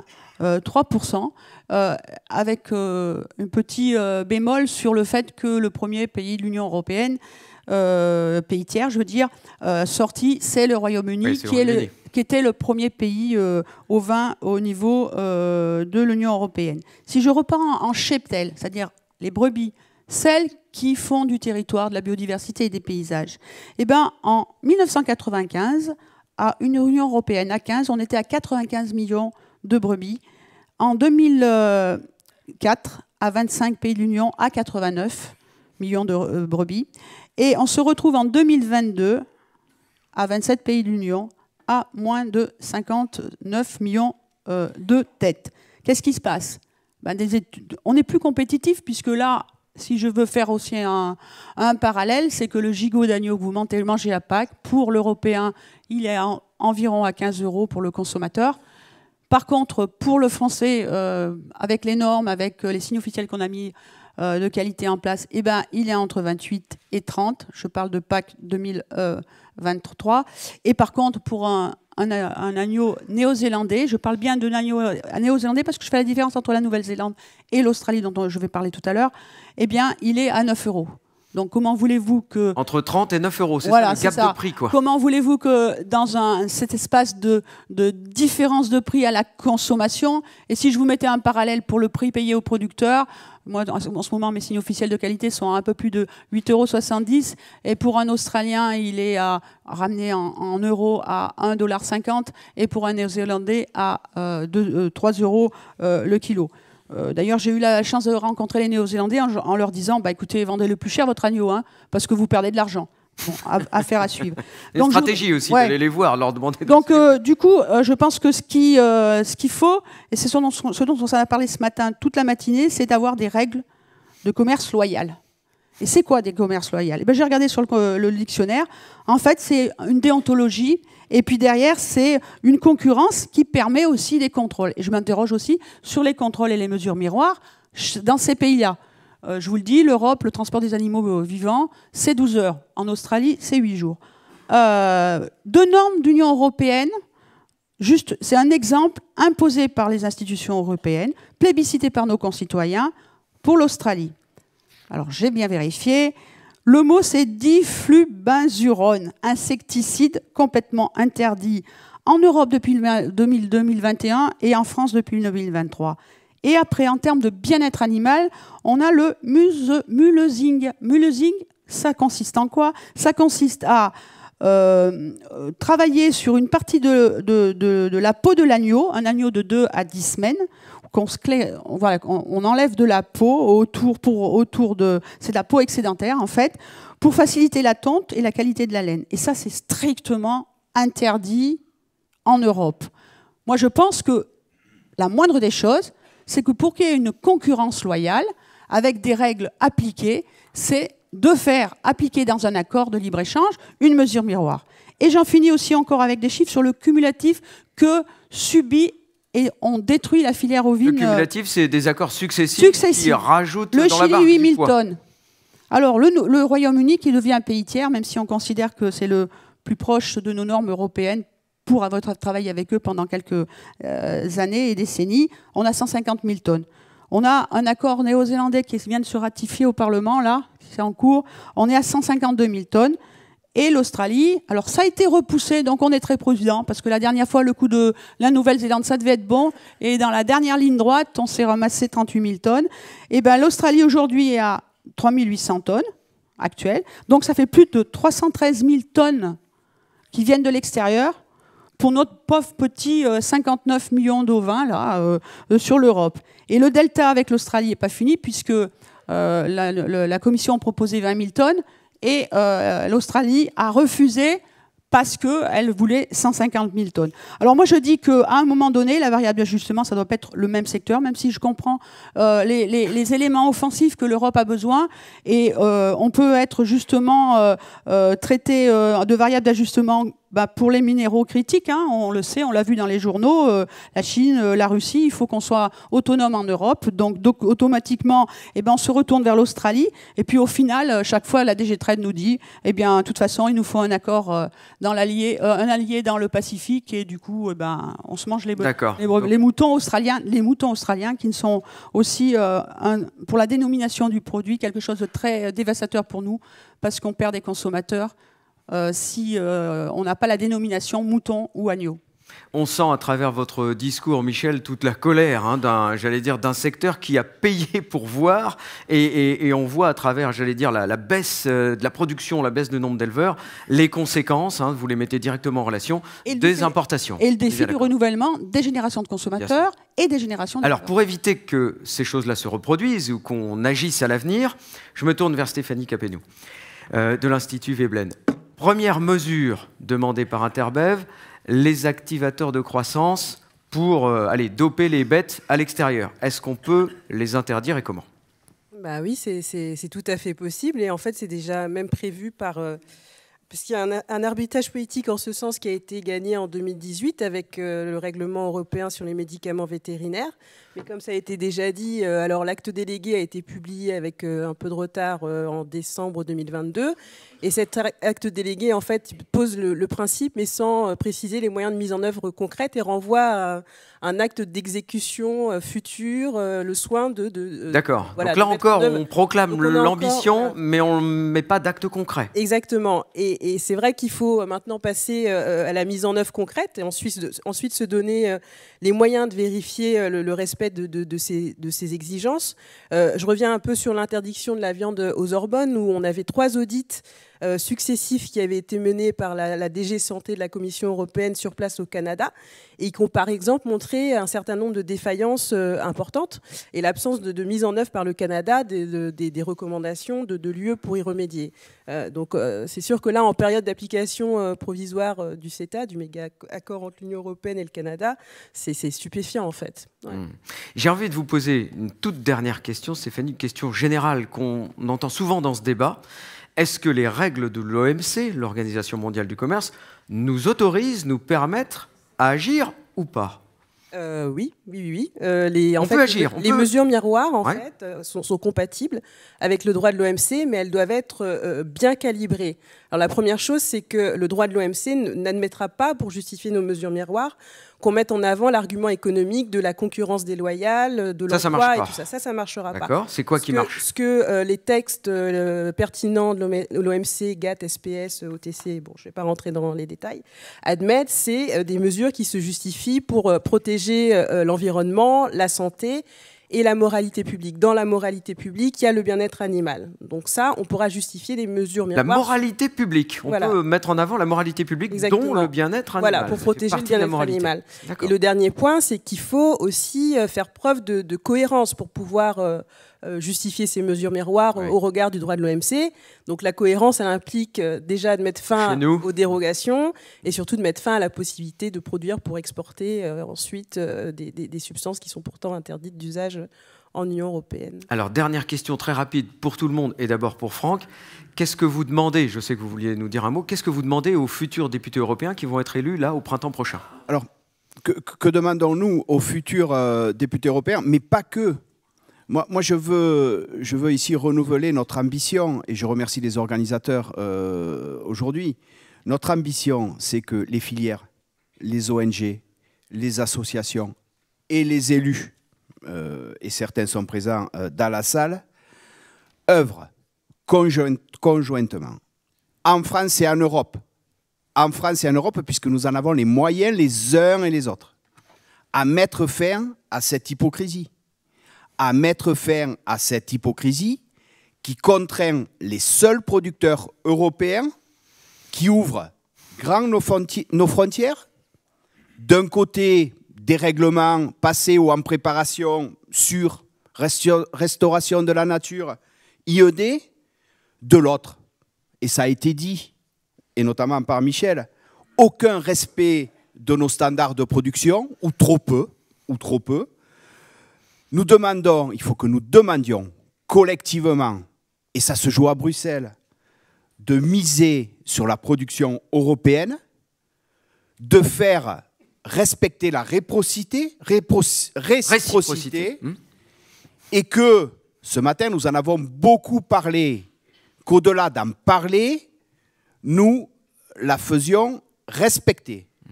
Alors, de la réciprocité dans les textes, je comprends, Hans Sander l'a dit, que ce n'est que, que c'est pas évident, mais il faut se battre. Et puis, une réciprocité contrôlée. Et pour conclure, je reviendrai sur les propos de M. Canfer, les propos introductifs. Je vais étonner quelques-uns. Je suis d'accord avec M. Canfer. Ah bon? Je suis tout à fait d'accord avec M. Canfer. Mais je reprends ces éléments, les éléments qu'il nous a donnés, et je les mets dans un ordre différent. Pour nous, filière, c'est plus de protection, plus de protection qui engendrera plus de revenus ou plus de résultats dans nos entreprises. Et ce résultat dans nos entreprises nous permettront plus de transition. Les trois points, je les reprends à mon compte, mais je les mets dans un ordre différent. Oui, protection, revenu, transition. Parce que hein. dans l'ordre, si vous vous souvenez Ouais. bien, Mm. dont il a, été- dans lequel il a été mis, on affaiblira la ferme France et la ferme européenne. Oui, parce qu'il met la transition d'abord. Guillaume, mot de la fin, qu'est-ce que vous demandez aux députés européens? Alors, euh, ça a été dit, c'était le, le- le- le mandat où on en a parlé. Maintenant, il faut, faut, faut transformer l'essai. Euh, je me rappelle, et Jérémy l'a partagé assez longtemps, quand on était au GIA, on avait mis euh, des petites banderoles, mais c'était euh, plus de paroles, mais des actes. Donc du coup, je peux redire pareil, il faudrait moins de paroles, mais des actes, clairement. Enfin, derrière ces quelques mots, c'est redire qu'il faut protéger nos territoires, qu'il faut protéger le monde qui fait ce territoire. Et je pense que si, les, gens qui sont associés dans cet événement-là aujourd'hui, ben, c'est parce qu'on est tous fiers aussi de notre pays, qu'on est tous fiers de, ben, ben, ce qui est fait, des produits qui en sortent, et que vraiment euh, on veut mieux le protéger. Donc là, c'est au niveau européen, mais il faudrait aussi faire les choses au niveau national, entre guillemets, parce que je vais juste faire une mini parenthèse, mais très rapide. Quand on travaille sur la planification écologique, quand on travaille sur l'affichage environnemental, bien clairement aujourd'hui, le Brésil et ses hormones de croissance, enfin ses, antibiotiques promoteurs de croissance, pardon, ben, ils vont faire qu'ils vont être mieux notés que nous, que nos bovins herbagés. Donc on doit aussi, nous, nationalement, ben, remettre les choses un petit peu dans l'ordre et puis ben, défendre notre territoire par ces choses-là, parce que les antibiotiques promoteurs de croissance, les animaux grossissent plus vite, en moins de temps, et du coup, ils influent moins l'environnement, même si Ah on ne considère pas l'ensemble de notre territoire et des prairies. Bien et sûr. c'est- et ça a été dit tout à l'heure, c'est très très important de compter aussi dans la planif écologique, Euh, mais je m'écarte un peu, mais, mais le, carbone Ça tombe bien parce qu'on va avoir le secrétaire général. voilà, donc c'était parce qu'on s'en occupe un peu, c'est des sujets d'actualité euh, en ce moment que c'est important à rappeler. Non, mais juste remercier tout le monde, dire qu'il faut transformer l'essai, euh, mais concrétiser tout ce qui a été fait dans ce mandat-là.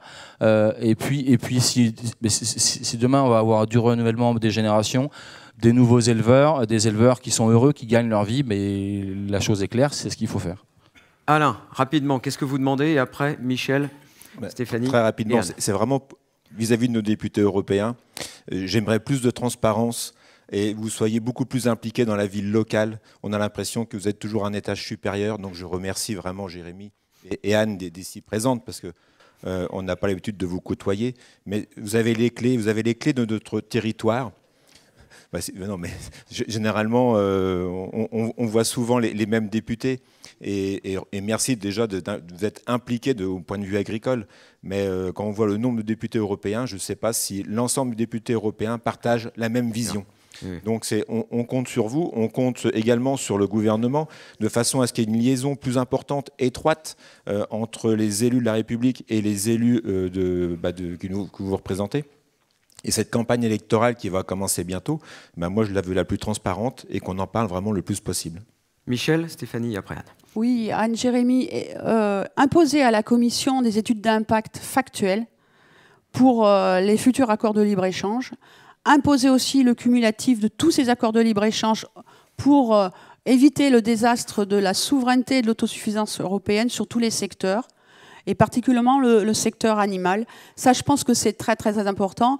Et essayer de voir euh, comment on peut euh, dire stop, clause de sauvegarde, le marché intérieur est détruit, on ne doit plus euh, mettre à mal le revenu des éleveurs, le, revenu aussi des citoyens, et, et, derrière tout ce qui a été dit ce matin, je pense que c'est important qu'on revienne au bon sens. Stéphanie? Bah oui, euh, moi je pense que ce qui manque, c'est qu'il faudrait en, effet un calendrier de travail et une liste des, mesures miroirs euh, prioritaires. Et je voulais revenir assez rapidement sur ce qui s'est passé la semaine dernière euh, en commission environnement au Parlement européen, où la Com Envie a ajouté des dispositions sur la réciprocité des, échanges dans le cadre de son examen du, règlement sur l'utilisation durable des pesticides et qui vont vraiment dans, le bon sens où en fait elle, demande à la Commission euh, d'ici 2025 euh, de, mener une étude complète sur les distorsions de concurrence existantes sur les, pesticides, euh, étude qui pourrait éventuellement former la base d'une proposition législative. Donc ça, c'est vraiment le type d'approche. C'est top, ça va dans le bon sens. Là. Dans, dans le bon sens, oui. Bon, donc ça c'est bien. On termine sur une note positive, ce qui est rare. Anne Sander, vous êtes la députée. Du coup, qu'est-ce que vous répondez à Alain qui dit c'est super, mais on a besoin d'actes. Tout le monde dit attendez, il faut que ça bouge, quoi. Bon, alors d'abord, je voudrais dire que j'ai pris bonne note de la liste euh, euh, des propositions qu'on défend quand même au quotidien. Alors sur euh, les limites maximales de résidus, sur les antibiotiques, sur les LMR, je voudrais quand même dire un point, rajouter un point, et plus largement dire qu'on a aussi un sujet de calendrier, parce que finalement, on a interdit, euh, on a mis une LMR à zéro pour deux néonicotinoïdes. Ça va s'appliquer en 2026, mais en même temps, la Commission interdit les néonicotinoïdes ici tout de suite. Et donc là aussi, on n'en a pas parlé, mais là, il faudrait de la cohérence. Donc j'ai entendu les propositions sur la déforestation importée, enfin les complications, le risque que ce soit plus compliqué pour nous et que ça n'ait pas d'impact euh, à l'extérieur, la nécessité de rajouter des produits.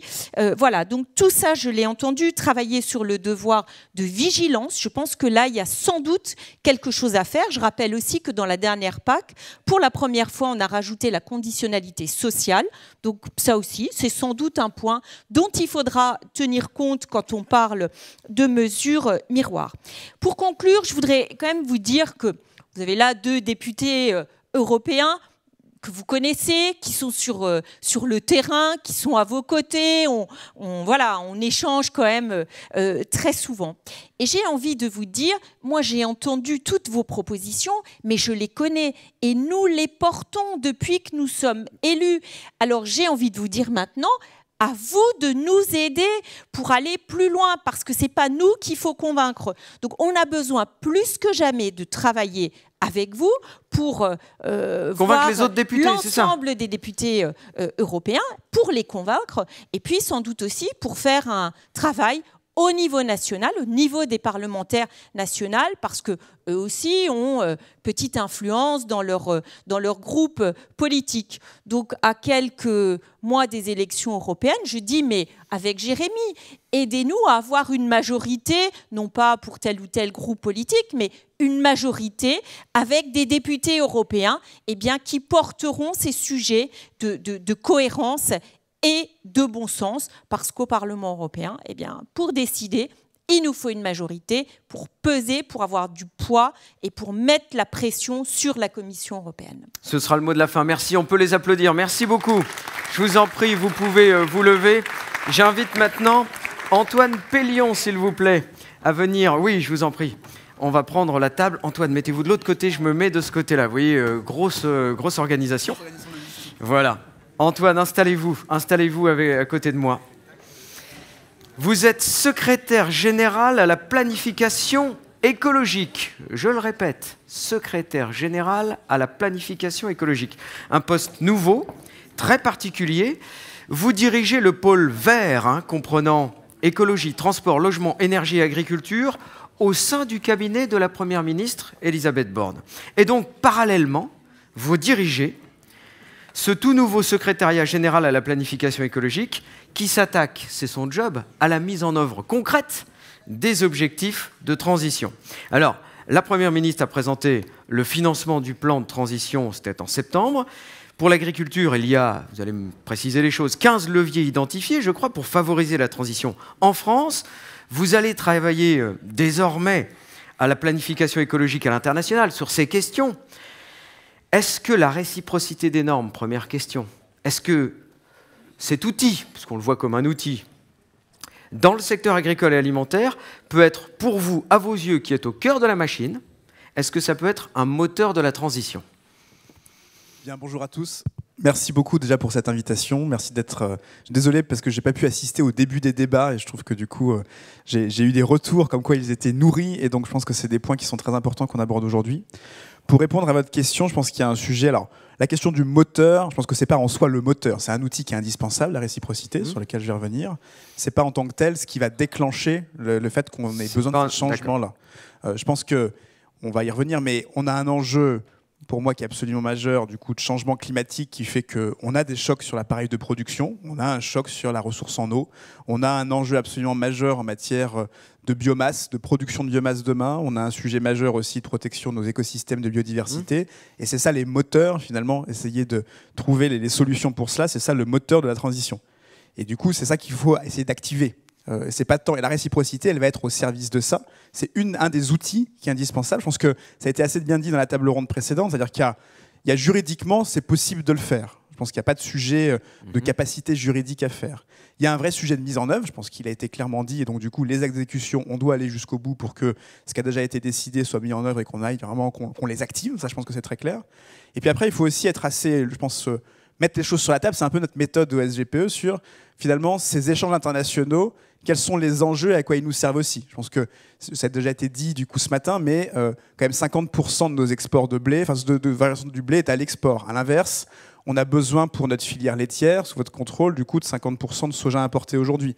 Euh, et donc tous ces enjeux-là, ce commerce, il est nécessaire. On a des intérêts offensifs, défensifs. Donc il faut trouver des voies de passage. Le sujet, c'est on a besoin de ce commerce-là. Puis dans le monde de demain, on a le sujet alimentaire, puis le sujet biomasse plus largement, et donc ces échanges, ils vont continuer à s'intensifier. Et donc là, il faut qu'on soit, j'irais, lucide. C'est-à-dire que le, sujet, c'est pas d'opposer les sujets entre euh, souveraineté, entre transition et puis, euh, et puis euh, commerce international. C'est de trouver les voies de passage. Et pour ça, il bah, faut ouvrir le capot et rentrer dans le détail. Est-ce que c'est pas cet outil hein, de réciprocité des normes une condition sine qua non pour la transition? C'est-à-dire que sans ça, on n'arrivera pas à la transition. Alors, mais encore une fois, c'est nécessaire, mais c'est absolument pas suffisant pour y arriver. Donc, on, a, on en a besoin. Euh, par contre, du coup, ce sujet-là, je pense que je vais prendre du coup le scénario quelque part du pire, c'est-à-dire à un moment donné, on n'arrive pas à le mettre en place, ça dure euh, des mois, des années, etc. Est-ce que pour autant il faudrait ne pas faire la transition?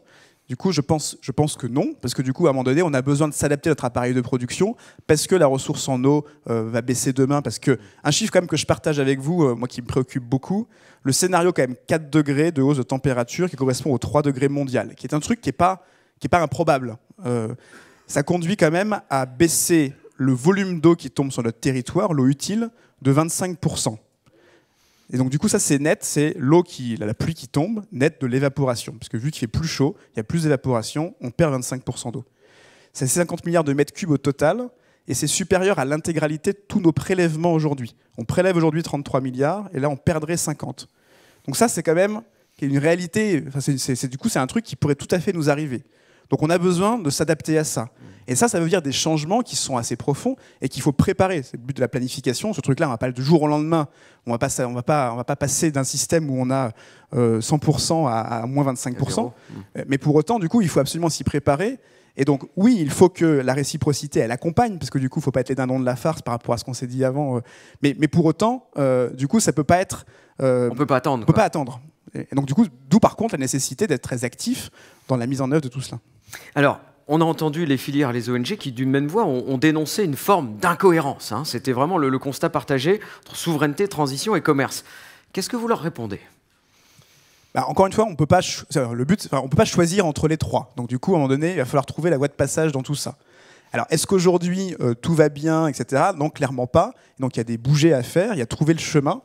Euh, et encore une fois, ce chemin-là, c'est pour ça qu'on fait la planification, c'est-à-dire qu'il ne va pas, il va pas arriver du jour au lendemain. Il se programme et puis on y va progressivement.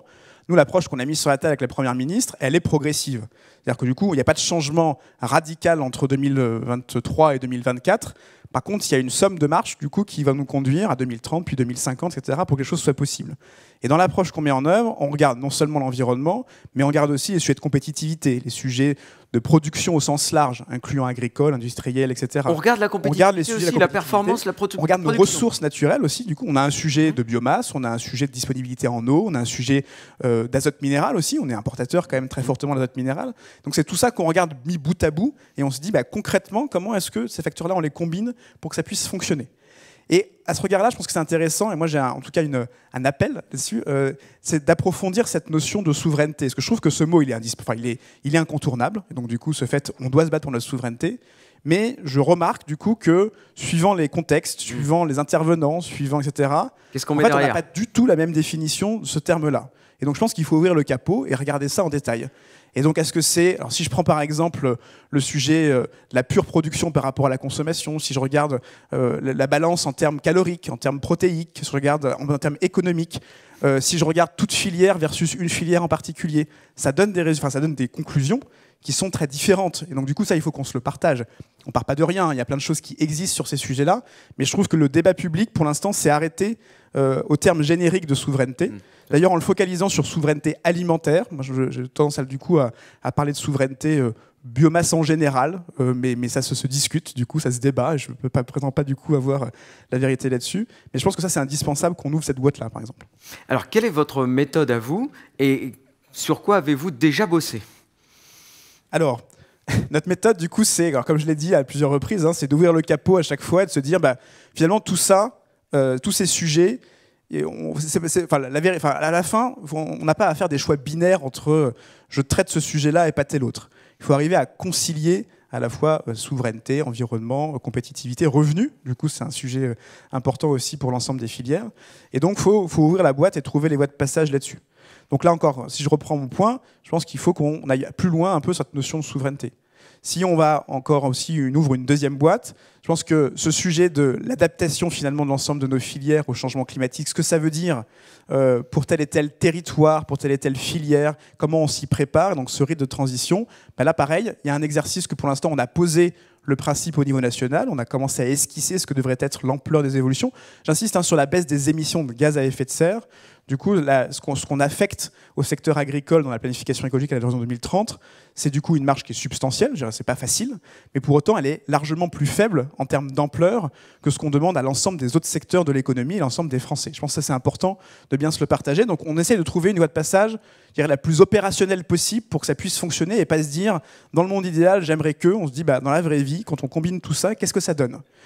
Honnêtement, tout ça est très compliqué, donc on ne prétend pas avoir la, la vérité sur tout, mais c'est néanmoins cet exercice-là sur lequel on veut emmener. Donc, souveraineté, les questions d'adaptation, ça veut dire quoi concrètement en matière de disponibilité de nos ressources? Parce que demain, l'adaptation au niveau mondial, ça va conduire aussi à des changements de disponibilité à la fois de ce qui sont pour l'instant nos intrants. Et donc, du coup, il faut se poser la question comment on les fait évoluer? Parce que peut-être on aura des chocs de prix qui ne seront pas soutenables demain. Et donc, ça qu'il faut qu'on arrive à projeter de façon à avoir une vision euh, qui soit assez complète. Euh, je l'ai dit à l'instant, troisième point, parler aussi donc, de l'alimentaire, mais plus généralement de la biomasse, c'est-à-dire le puits de carbone, parce qu'il y, a des- cultures qu'on va garder en terre, parce qu'on a besoin du coup de, de capter du, du- du CO2, donc ça c'est un point qui est important. Euh, on voit demain, enfin on a, un sujet qui est, très large là-dessus. Euh, et puis, euh, tout ce que je vous dis là, je pense que c'est indispensable de se fixer des grands équilibres au niveau national. Après, la vraie vie, elle est locale par bassin de production, donc ça nécessite du coup, et c'est pas nous tout seuls au SGPE avec les quelques effectifs nationaux qui allons le faire, bah, c'est avec l'ensemble des filières, en croisant avec euh, bassin de production la production, ce que ça veut dire concrètement euh, dans la vraie vie, et sans oublier dans tout ça bah, ce qui est à un moment donné aussi l'équilibre économique de chacune des filières. Et donc il faut que ça boucle dans tous les sens. Ça boucle physiquement, ça boucle en émissions, ça boucle financièrement. Donc c'est un travail qui est assez titanesque. Je pense qu'on ne part pas de rien et que vous êtes tous là très impliqués et très nombreux du coup à y contribuer. Et donc je pense que par contre, on a encore un paquet de chemin à, parcourir de façon à ce qu'on puisse trouver euh, ces bonnes voies de passage et de façon encore une fois à, ne pas opposer euh, les différents termes de l'équation que vous avez posée au début. Et ça suppose, oui, qu'on ne soit pas euh, naïf sur la partie commerce international, ça suppose qu'on soit actif sur la mise en œuvre de ce qui a été, promis. et ça suppose aussi, par contre, qu'on ait une vision un peu euh, complète de l'ensemble de nos intérêts euh, import-export et puis qu'on se les dise clairement pour qu'on partage euh, pourquoi est-ce que les points de sortie sont tel et tel point. Voilà un petit peu en résumé la, lourde tâche collective qui est devant nous. Oui, c'est une lourde tâche en effet, hein, secrétariat général à la transition écologique, c'est des nouveaux termes, une nouvelle démarche qui est basée, vous me dites si je dis des bêtises, basée sur l'étude concrète de la réalité, les chiffres, les conséquences de telle ou telle décision, l'estimation de, tout. Euh, euh, sur notre sujet de ce matin, la réciprocité des normes. On en discute, nous, depuis quelques années, notamment les filières d'élevage sont plus en pointe là-dessus. On voit que dans les idées, ça progresse, très bien, mais vous l'avez entendu, concrètement, ça, rame. Est-ce qu'il faut qu'on s'inspire de votre méthode ou comment s'en inspirer? Est-ce que ça peut être une bonne méthode pour arriver à une forme de réciprocité des normes? Cette méthode concrète, j'allais dire euh, quotidienne, euh, banale presque. En tout cas, ce qui est euh, ce qu'il faut absolument, notre méthode, c'est non seulement dire ce qu'il faudrait faire, puis après s'assurer que ça se passe vraiment. Donc là, au début, on est au début de tout ça, la planification. Donc là, on a posé le plan. Maintenant, on est en train de réorienter l'activité secrétaire générale sur comment on suit la mise en œuvre concrète euh, de l'ensemble des mhm. sujets. Mhm. Et donc là, typiquement, on est exactement dans ce qu'on sait dire. Je pense qu'il y a eu des choses qui ont bougé. Juridiquement, il y a des choses qui ont été votées mhm. pour pouvoir mettre en place des réciprocités. Par contre, on n'a pas encore été au bout. Et donc ça, c'est un problème. Donc là, on peut s'inspirer quelque part de la méthode en dire, bah, c'est sympathique de planifier, mais il faut aller jusqu'au bout de l'exercice, il faut exécuter le plan, sinon du coup, euh, on a fait que la moitié du travail, ça c'est certain. Euh, après, l'autre façon, c'est, encore une fois, c'est, euh, je pense qu'il faut, qu'on regarde chacune des filières et les enjeux qui sont propres, vous les avez cités dans les tables rondes un par un. Après, je pense que c'est utile qu'on regarde aussi l'ensemble des enjeux, encore une fois, import-export, mais ne serait-ce que sur la, aux bornes du secteur agricole au sens large, parce que la réalité, c'est que, à la fois en termes économiques, il y a eu énormément, il y a eu peu il y a eu des évolutions, mais il y a eu en ordre de grandeur, les variations, elles sont surtout de répartition euh, interfilière, plus que vraiment des grandes évolutions du solde net au niveau de la borne de France, de l'ensemble des flux. Et donc c'est ça, du coup, ça veut dire à un moment donné, il faut être lucide aussi sur, il y a des gagnants, il y a eu des perdants dans l'histoire, et donc il faut être assez transparent et factuel sur pourquoi ces évolutions, d'où viennent-elles, ce que ça veut dire sur le territoire, euh, et donc du coup, qu'est-ce qui finalement est bon pour le pays dans tout ça. Ça, ça nécessite du coup, encore une fois, d'ouvrir le capot, et c'est un peu notre méthode qu'on vous propose. En tout cas, vous êtes les, tous des tous les bienvenus pour, euh, pour en discuter. on peut venir vous voir. Bien On est bien d'accord. Merci. On peut applaudir Antoine Pellion pour euh, cet exercice de venir nous présenter le, secrétariat général. Merci à vous. On va maintenant regarder une deuxième vidéo, Mon assiette, mon choix. Vous savez, cette campagne citoyenne qui démarre aujourd'hui sur Internet. C'est parti.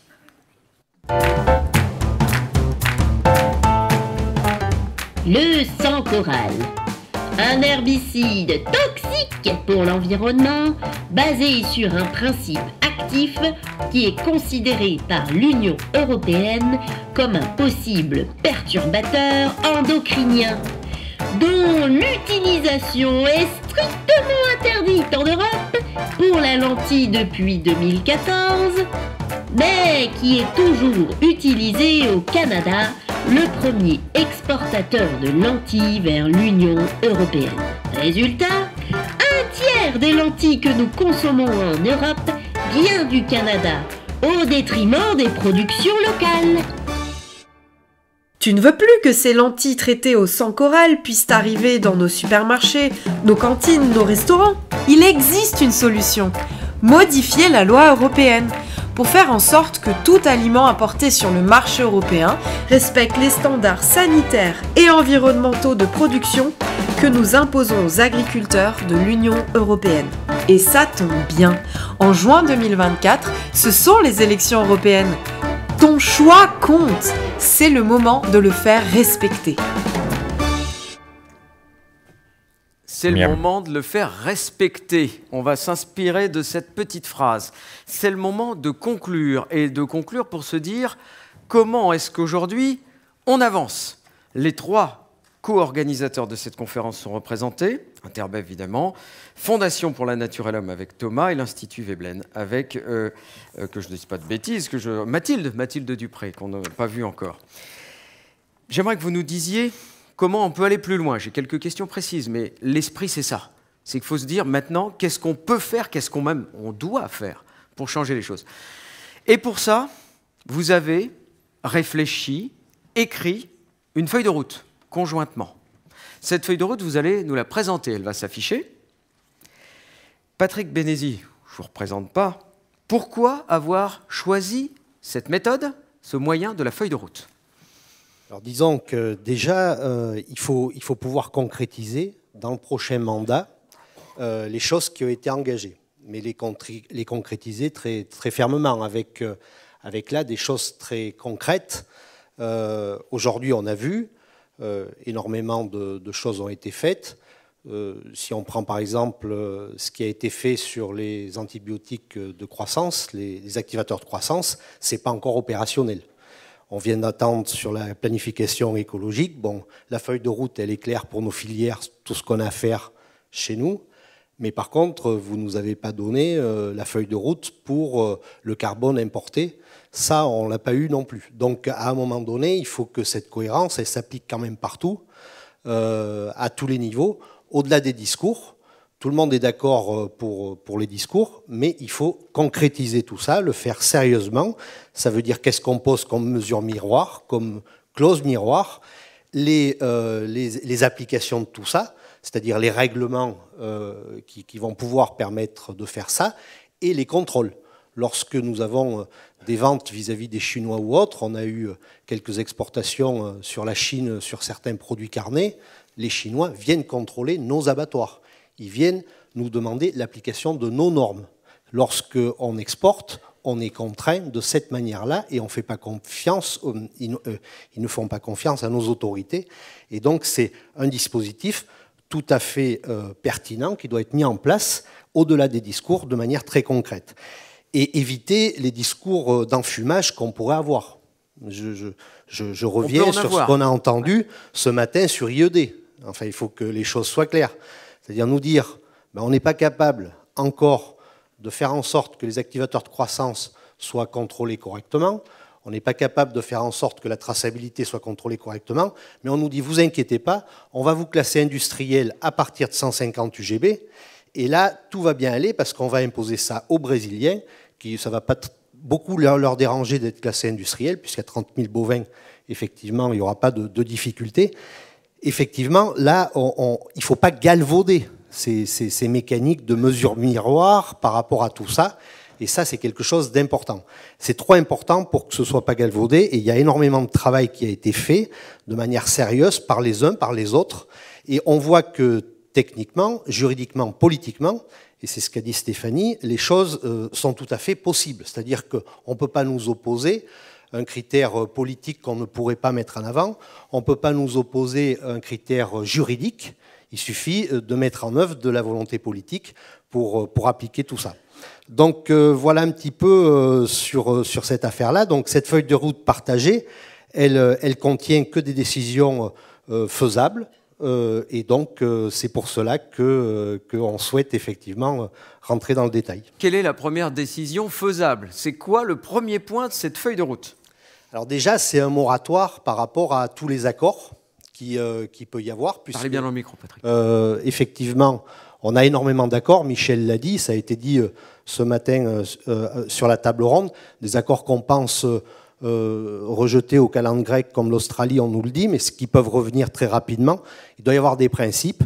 Il faut effectivement que ces mesures miroirs soient calées, que ces clauses miroirs soient calées, et de manière à pouvoir apprécier ces accords. Et tant que ça, ce n'est pas fait, euh, On bloque. à- à- à- à- en regardant les objectifs que nous, que nous souhaitons, les objectifs de souveraineté alimentaire, les, so- les objectifs de transition écologique également, en regardant tous les objectifs politiques euh, sur lesquels on est d'accord, et là, on pourrait amener aussi euh, la définition du modèle que l'on souhaite aussi euh, par, rapport, par rapport à tout ça.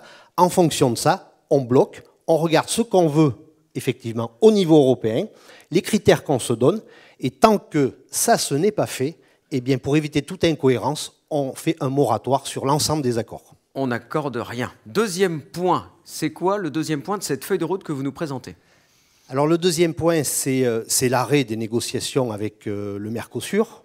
Euh, des négociations, ça a été dit, et ça a commencé Ils il y a, il il y a suffit de ratifier il y a maintenant. plusieurs dizaines d'années. Euh, donc à partir de là, on voit que, que les, les- le- les- les choses n'étaient pas du tout euh, adaptées. On parle d'accords qui ont, qui ont démarré il y, a, il y a beaucoup de temps avec des, des principes qui n'étaient pas ceux d'aujourd'hui. Euh, Aujourd'hui, euh, on ne sait pas d'ailleurs ce qui a été mis sur la table par la Commission européenne en termes de mesures miroirs, même pas de mesures miroirs, puisque ça ne dépend pas de ça, mais de clauses miroirs.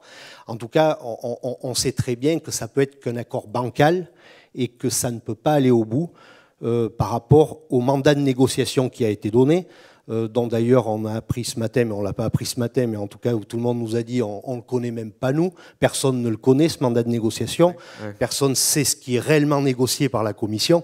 Donc effectivement, dans des conditions comme ça, il faut arrêter de négocier euh, par rapport à cet accord. Merci Patrick. Thomas, vous co-signez cette feuille de route pour la Fondation Naturel Homme. Quel est le point 3 Alors juste Pascal, je prends juste 30 secondes comme c'est la conclusion, je fais un petit pas de côté et je perds pas le fil de, de ce socle. Je repars juste, juste sur un élément qui a été partagé par Antoine Payon, c'est l'enjeu de la planification écologique. Je l'ai dit tout à l'heure, mais je veux vraiment le rappeler, les mesures miroirs, elles sont essentielles à partir du moment où on est euh, en mesure de respecter les objectifs du Green Deal, de respecter nos propres enjeux, la stratégie nationale de déforestation. On a parlé du règlement aussi déforestation au niveau européen, du Kunming Montréal au niveau mondial sur la biodiversité. Il est vraiment là l'enjeu. Parce que j'ai entendu beaucoup euh, depuis tout à l'heure ces enjeux de réciprocité, euh, qu'on ne veut pas d'enfumage, je reprends les termes, mais cette réciprocité, elle va vraiment dans les deux sens. Et c'est extrêmement important que ces mesures miroirs, elles s'inscrivent en tout cas dans ces objectifs environnementaux qu'on a évoqués, et puis on a tant d'autres sociaux notamment, et sanitaires. Mais là-dessus, je voulais vraiment euh, refaire ce petit pas de côté. important, et donc, on en discute aussi avec euh, bah, voilà, les collègues du SGPE, euh, pas encore avec Antoine Payon, mais ça va venir. Et, sur le dernier, et sur le dernier programme à la Fondation, on travaille également sur les enjeux de répartition de la valeur. Je le dis, on va sortir une étude là-dessus.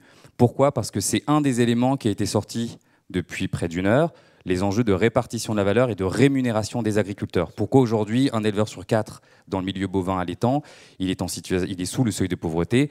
Et ça, c'est inadmissible. Donc l'enjeu ici, c'est de comprendre cette répartition de la valeur et de voir qu'est-ce qu'on peut faire face à ça. Voilà, parenthèse fermée noté. sur euh, l'enjeu de ces mesures miroirs à remettre un peu de cohérence au travers de ces enjeux plus systémiques. Quel est le point 3 de la Sur le point route 3, euh, l'idée, effectivement, il est noté d'établir une liste précise des mesures miroirs prioritaires. On a évoqué euh, que d'ici la fin du mandat de l'Union européenne, il va falloir un peu mettre, euh, on va dire, les bouchées doubles sur les enjeux de traçabilité, de contrôle et d'utilisation. On a parlé longuement des antibiotiques, hein, euh, activateurs de croissance. On a parlé des deux néonicotinoïdes qui vont faire l'objet d'une application en 2026, ceux qui n'ont pas d'acte d'exécution. Voilà. Donc là-dessus, il y a un enjeu à considérer. Premièrement, dans les filières végétales, euh, le fait d'arrêter d'importer des produits qui ne sont pas aux normes évidemment européennes, mais en contrepartie, et c'est Stéphanie qui l'a dit, de mettre fin aux dérogations d'urgence et également de ne pas exporter les produits phytosanitaires qui sont interdits en Europe. Là encore, je reviens sur le premier point, sur la réciprocité, dans les deux sens pour éviter l'agriculture à deux vitesses. Sur le deuxième point, il faut évidemment bloquer les importations de produits avec des, tolérances qui sont relevées. Benjamin Lamère, tout à l'heure de Terre Univia, l'a évoqué sur la lentille et le glyphosate, par exemple. On ne relève pas des LMR pour les laisser entrer, ce n'est pas possible, et ça, c'est incohérent. Sur le troisième point, toujours dans les filières végétales, on a évidemment les produits destinés à l'alimentation animale. Il faut refuser les OGM et puis mettre en place des LMR qui n'existent pas. Alors les LMR, clairement, ça a été aussi un débat, c'est pas la panacée. On le sait bien, puisque c'est les traces. Ça ne remet pas en question les modes de production, c'est-à-dire la promotion de systèmes plus agroécologiques. C'est pas le, le- le- le cas hein, pour les LMR. hein. On l'a vu sur les enjeux du cristal, du sucre, mais déjà sur l'alimentation animale et sur le soja, puisqu'on en a beaucoup parlé sur notre non-dépendance, sur, le, fait que nous ne soyons pas dépendants aux, aux, protéines végétales qui vont nourrir nos filières animales et qui contribuent à la déforestation importée. Il y a l'enjeu en tout cas de considérer les produits qui rentrent dans l'alimentation animale. Enfin, pour terminer, sur les filières animales, deux, trois points très succincts. Arrêter d'importer des animaux vivants euh, et des viandes issues d'élevage qui ne respectent pas les cadres de bien-être animal dans l'Union européenne, et notamment les animaux vivants qui sont dans des conditions de transport parfois qu'on doit remettre en question et pointer du doigt. Ça, ça ne doit plus se passer. Le deuxième point, c'est sur la mise en place de traçabilité. Je ne m'étends pas, puisque Patrick Ménézy l'a dit tout à l'heure, la traçabilité est essentielle et il faut aussi la demander pour les produits qui rentrent en Europe. Et puis, dernier point sur le blocage des importations d'animaux qui ont contribué indirectement à la déforestation. C'est la transition pour euh, Mathilde qui en parlera. Mathilde, justement, vous êtes Mathilde Dupré, co-directrice de l'Institut Veblen. Le quatrième point de la feuille de route, on le voit, hein, euh, réclame la mise en œuvre de contrôles efficaces au sein de filières dédiées dans les pays exportateurs. Sur l'objectif, je pense qu'il y a unanimité dans cette salle et au moins sur scène. Comment est-ce qu'on peut faire? Alors, on, l'a montré dans un, dans un rapport euh, récent avec le Bureau environnemental européen et la FNH. Euh, qu'en fait on sait faire des mesures miroirs et ça a été rappelé par le ministre en ouverture euh, avec des filières dédiées. On l'a fait euh, dans le cas de la viande sans hormones. On le fait aussi dans l'agriculture biologique avec des systèmes de traçabilité et de contrôle qui, qui peuvent parfois montrer certaines défaillances, mais qui existent et qu'il faut continuer à, perfectionner. mais ça demande évidemment d'y dédier des moyens de contrôle et de suivi, ce qui signifie que les, douanes vont avoir un rôle accru à jouer sur les sujets environnementaux à l'avenir. Euh, c'est nécessairement un sujet euh, qui devra être traité d'ailleurs dans la, réforme du code douanier en cours au niveau européen. Euh, et ça veut dire aussi qu'il faut renverser la tendance, puisque dans, le cadre des accords de commerce actuels, on avait plutôt tendance à dire qu'on allait réduire le nombre de contrôles, et c'était le cas par exemple dans l'accord avec les pays du Mercosur. et donc évidemment, ce n'est pas avec une réduction des contrôles qu'on va pouvoir s'assurer de la mise en œuvre de, ces, de ces mesures miroirs. Et l'autre chose que je voulais euh, pointer ici, c'est qu'il y a souvent une crainte euh, de faire euh, reposer de façon indue la mise en œuvre et le contrôle de telles mesures miroirs sur les pays exportateurs et sur des acteurs économiques les plus vulnérables au, sein des chaînes de valeur internationales. Et cette question-là, évidemment, mérite un, un, examen très, très approfondi. Euh, cet argument ne doit quand même pas être utilisé pour euh, faire perdurer le, statu quo. En tout cas, c'est notre position. Et il faut voir que la situation varie beaucoup entre les filières. Donc, par exemple, dans, le cas de l'élevage, c'est peut-être plus facile parce qu'on est sur des pays d'exportation qui sont souvent des pays développés ou à revenus intermédiaires, avec des grandes multinationales euh, qui, qui ciblent le marché européen et qui respectent déjà un certain nombre de normes euh, européenne. Donc euh, euh, ça devrait être complètement possible de leur demander d'aller un cran plus loin sur des normes essentielles en matière de, santé, d'environnement et bien-être. Quand on est sur d'autres filières dans lesquelles sont spécialisés des pays en développement avec des, myriades de, plus petits producteurs, c'est certainement plus difficile. Et donc, pour faire face à ces difficultés, il faudra voir comment designer les mesures pour que les efforts soient, soient équitablement répartis et pour qu'il y ait des mesures d'accompagnement et d'aide pour que ces, ces, producteurs puissent continuer à exporter. Mathilde, cinquième, dernier point de la feuille de route, euh, la déforestation importée, la lutte. Qu'est-ce qu'on peut faire, qu'est-ce qu'on doit faire sur ce point? Alors là, c'est un texte historique qui a été adopté cette année, euh, qui doit être mis en œuvre à la fin de l'année. On voit que tout n'est pas encore en place pour que ce soit le cas, notamment sur le classement euh, des pays selon les critères de, de risque. Euh, la, question de la traçabilité va être euh, au cœur de, cette, euh, cette, mise en œuvre pour atteindre les objectifs affichés. et ça devra faire l'objet de, contrôles effectifs. Et surtout, il faut rappeler que ce texte, comme tous les textes européens, a fait l'objet d'un compromis entre le Parlement et le, Conseil. Et donc, on connaît déjà certaines de ces lacunes, notamment sur les produits qui sont couverts. Ça a été dit sur le sucre, mais c'est aussi le cas sur le, maïs ou le biodiesel. Il y a des trous dans la, dans la raquette. Et aussi sur certaines catégories de terres boisées. Euh, et notamment aujourd'hui, 60% des importations européennes à risque de déforestation concernent le soja principalement cultivé dans des savanes comme le Cerrado euh, et, euh, dans les pays du Mercosur et qui ne sont pas couverts par le texte. donc là, on a une destruction en cours de ces, de ces biomes-là qui est très très rapide et qui risque d'annihiler les efforts qui sont faits sur l'Amazonie en ce moment. donc il faut absolument combler ces, lacunes-là de, de toute urgence.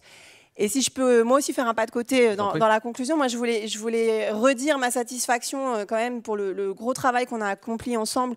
Euh, au-delà de nos, nos divergences, euh, pour essayer d'identifier des, des pistes d'action communes, c'est pas toujours facile. C'est un travail de longue haleine qu'on a mené euh, avec Interbev et, et, la FNH depuis, depuis longtemps. Et je voulais redire ici qu'il y a quelques années, quand on portait cette question des mesures miroirs de la réciprocité dans des rendez-vous politiques, on nous rigolait presque au nez et on nous disait que ce serait impensable, impossible que de fixer des nouvelles exigences sur, par exemple, les pesticides qui sont utilisés dans les pays tiers. Euh, et, et donc, ça montre quand même le chemin qu'on a parcouru parce qu'aujourd'hui, on a remporté cette euh, bataille culturelle, on l'a dit, mais on est aussi déjà en train de parler de mesures concrètes, notamment sur les néonicotinoïdes. Alors, le chemin à parcourir reste encore très long, c'est un chantier colossal, mais, on a quand même vraiment euh, déjà euh, enclenché des choses qui, sont, très importantes. Et, je pense qu'il ne faut pas qu'on laisse croire que ce serait simplement des, choses impossibles à atteindre. On peut le faire, il faut de la volonté politique, et elle sera présente que s'il y a de la, mobilisation de différents types d'acteurs. C'est pour ça qu'on s'engage dans, dans ce travail euh, collectif qui est euh, parfois euh, euh, avec certaines tensions, mais, mais qui nous semble très, très fécond. Patrick, le mot de la fin, quelle est votre ambition à l'issue de cette conférence? Alors déjà, euh, le mot de la fin, c'est peut-être noter dans un premier temps euh, le consensus qu'il y a autour, enfin on n'est pas toujours d'accord sur beaucoup de points. Euh, sur celui-ci, euh, eh bien on l'est, et de manière assez militante d'ailleurs. Euh, et puis euh, les filières qui se sont exprimées, euh, de- de- des gens de tous horizons, ça, explique aussi le fait qu'il faut que le politique, les partis politiques qui vont aller aux européennes bientôt, soient très attentifs à cela. Parce que ça veut dire que si des gens autant différents, où, il peut y avoir autant de différences, sont d'accord sur un point, ça, ça rentre, comme on dit chez nous, dans les cours de ferme, et ça rentre dans les ménages aussi. C'est-à-dire que tout le monde comprend bien qu'on ne peut pas avoir de la concurrence déloyale, avoir des produits qui sont faits sur des conditions différentes de ce qui est imposé aux, agriculteurs et aux paysans français et européens. Et ça, c'est quelque chose qui rentre, c'est quelque chose qui est cohérent, et ça implique à ce qu'il y ait une cohérence politique, et c'est aussi le crédit, le crédit politique qui doit être porté là, vis-à-vis euh, des institutions européennes également, alors déjà au niveau français, mais, au niveau européen. Donc euh, ça serait aussi une marque de porter tout ça, ça serait aussi une marque euh, d'une volonté qui est quand même partagée de grande manière au-delà euh, des clivages qu'il peut y avoir entre nous et qui rentre, je- j'en suis sûr, parce que ça, on n'a pas de mal à l'expliquer. Même quelqu'un qui ne connaît rien à l'agriculture, qui n'est pas forcément investi dans l'écologie ou des choses comme ça, va comprendre cette incohérence politique.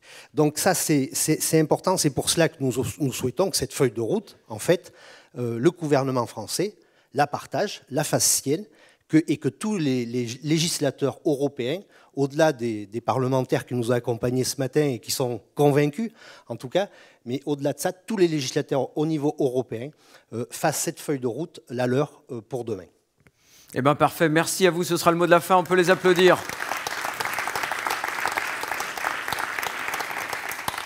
Merci pour cette belle conférence, bonne journée, bon appétit.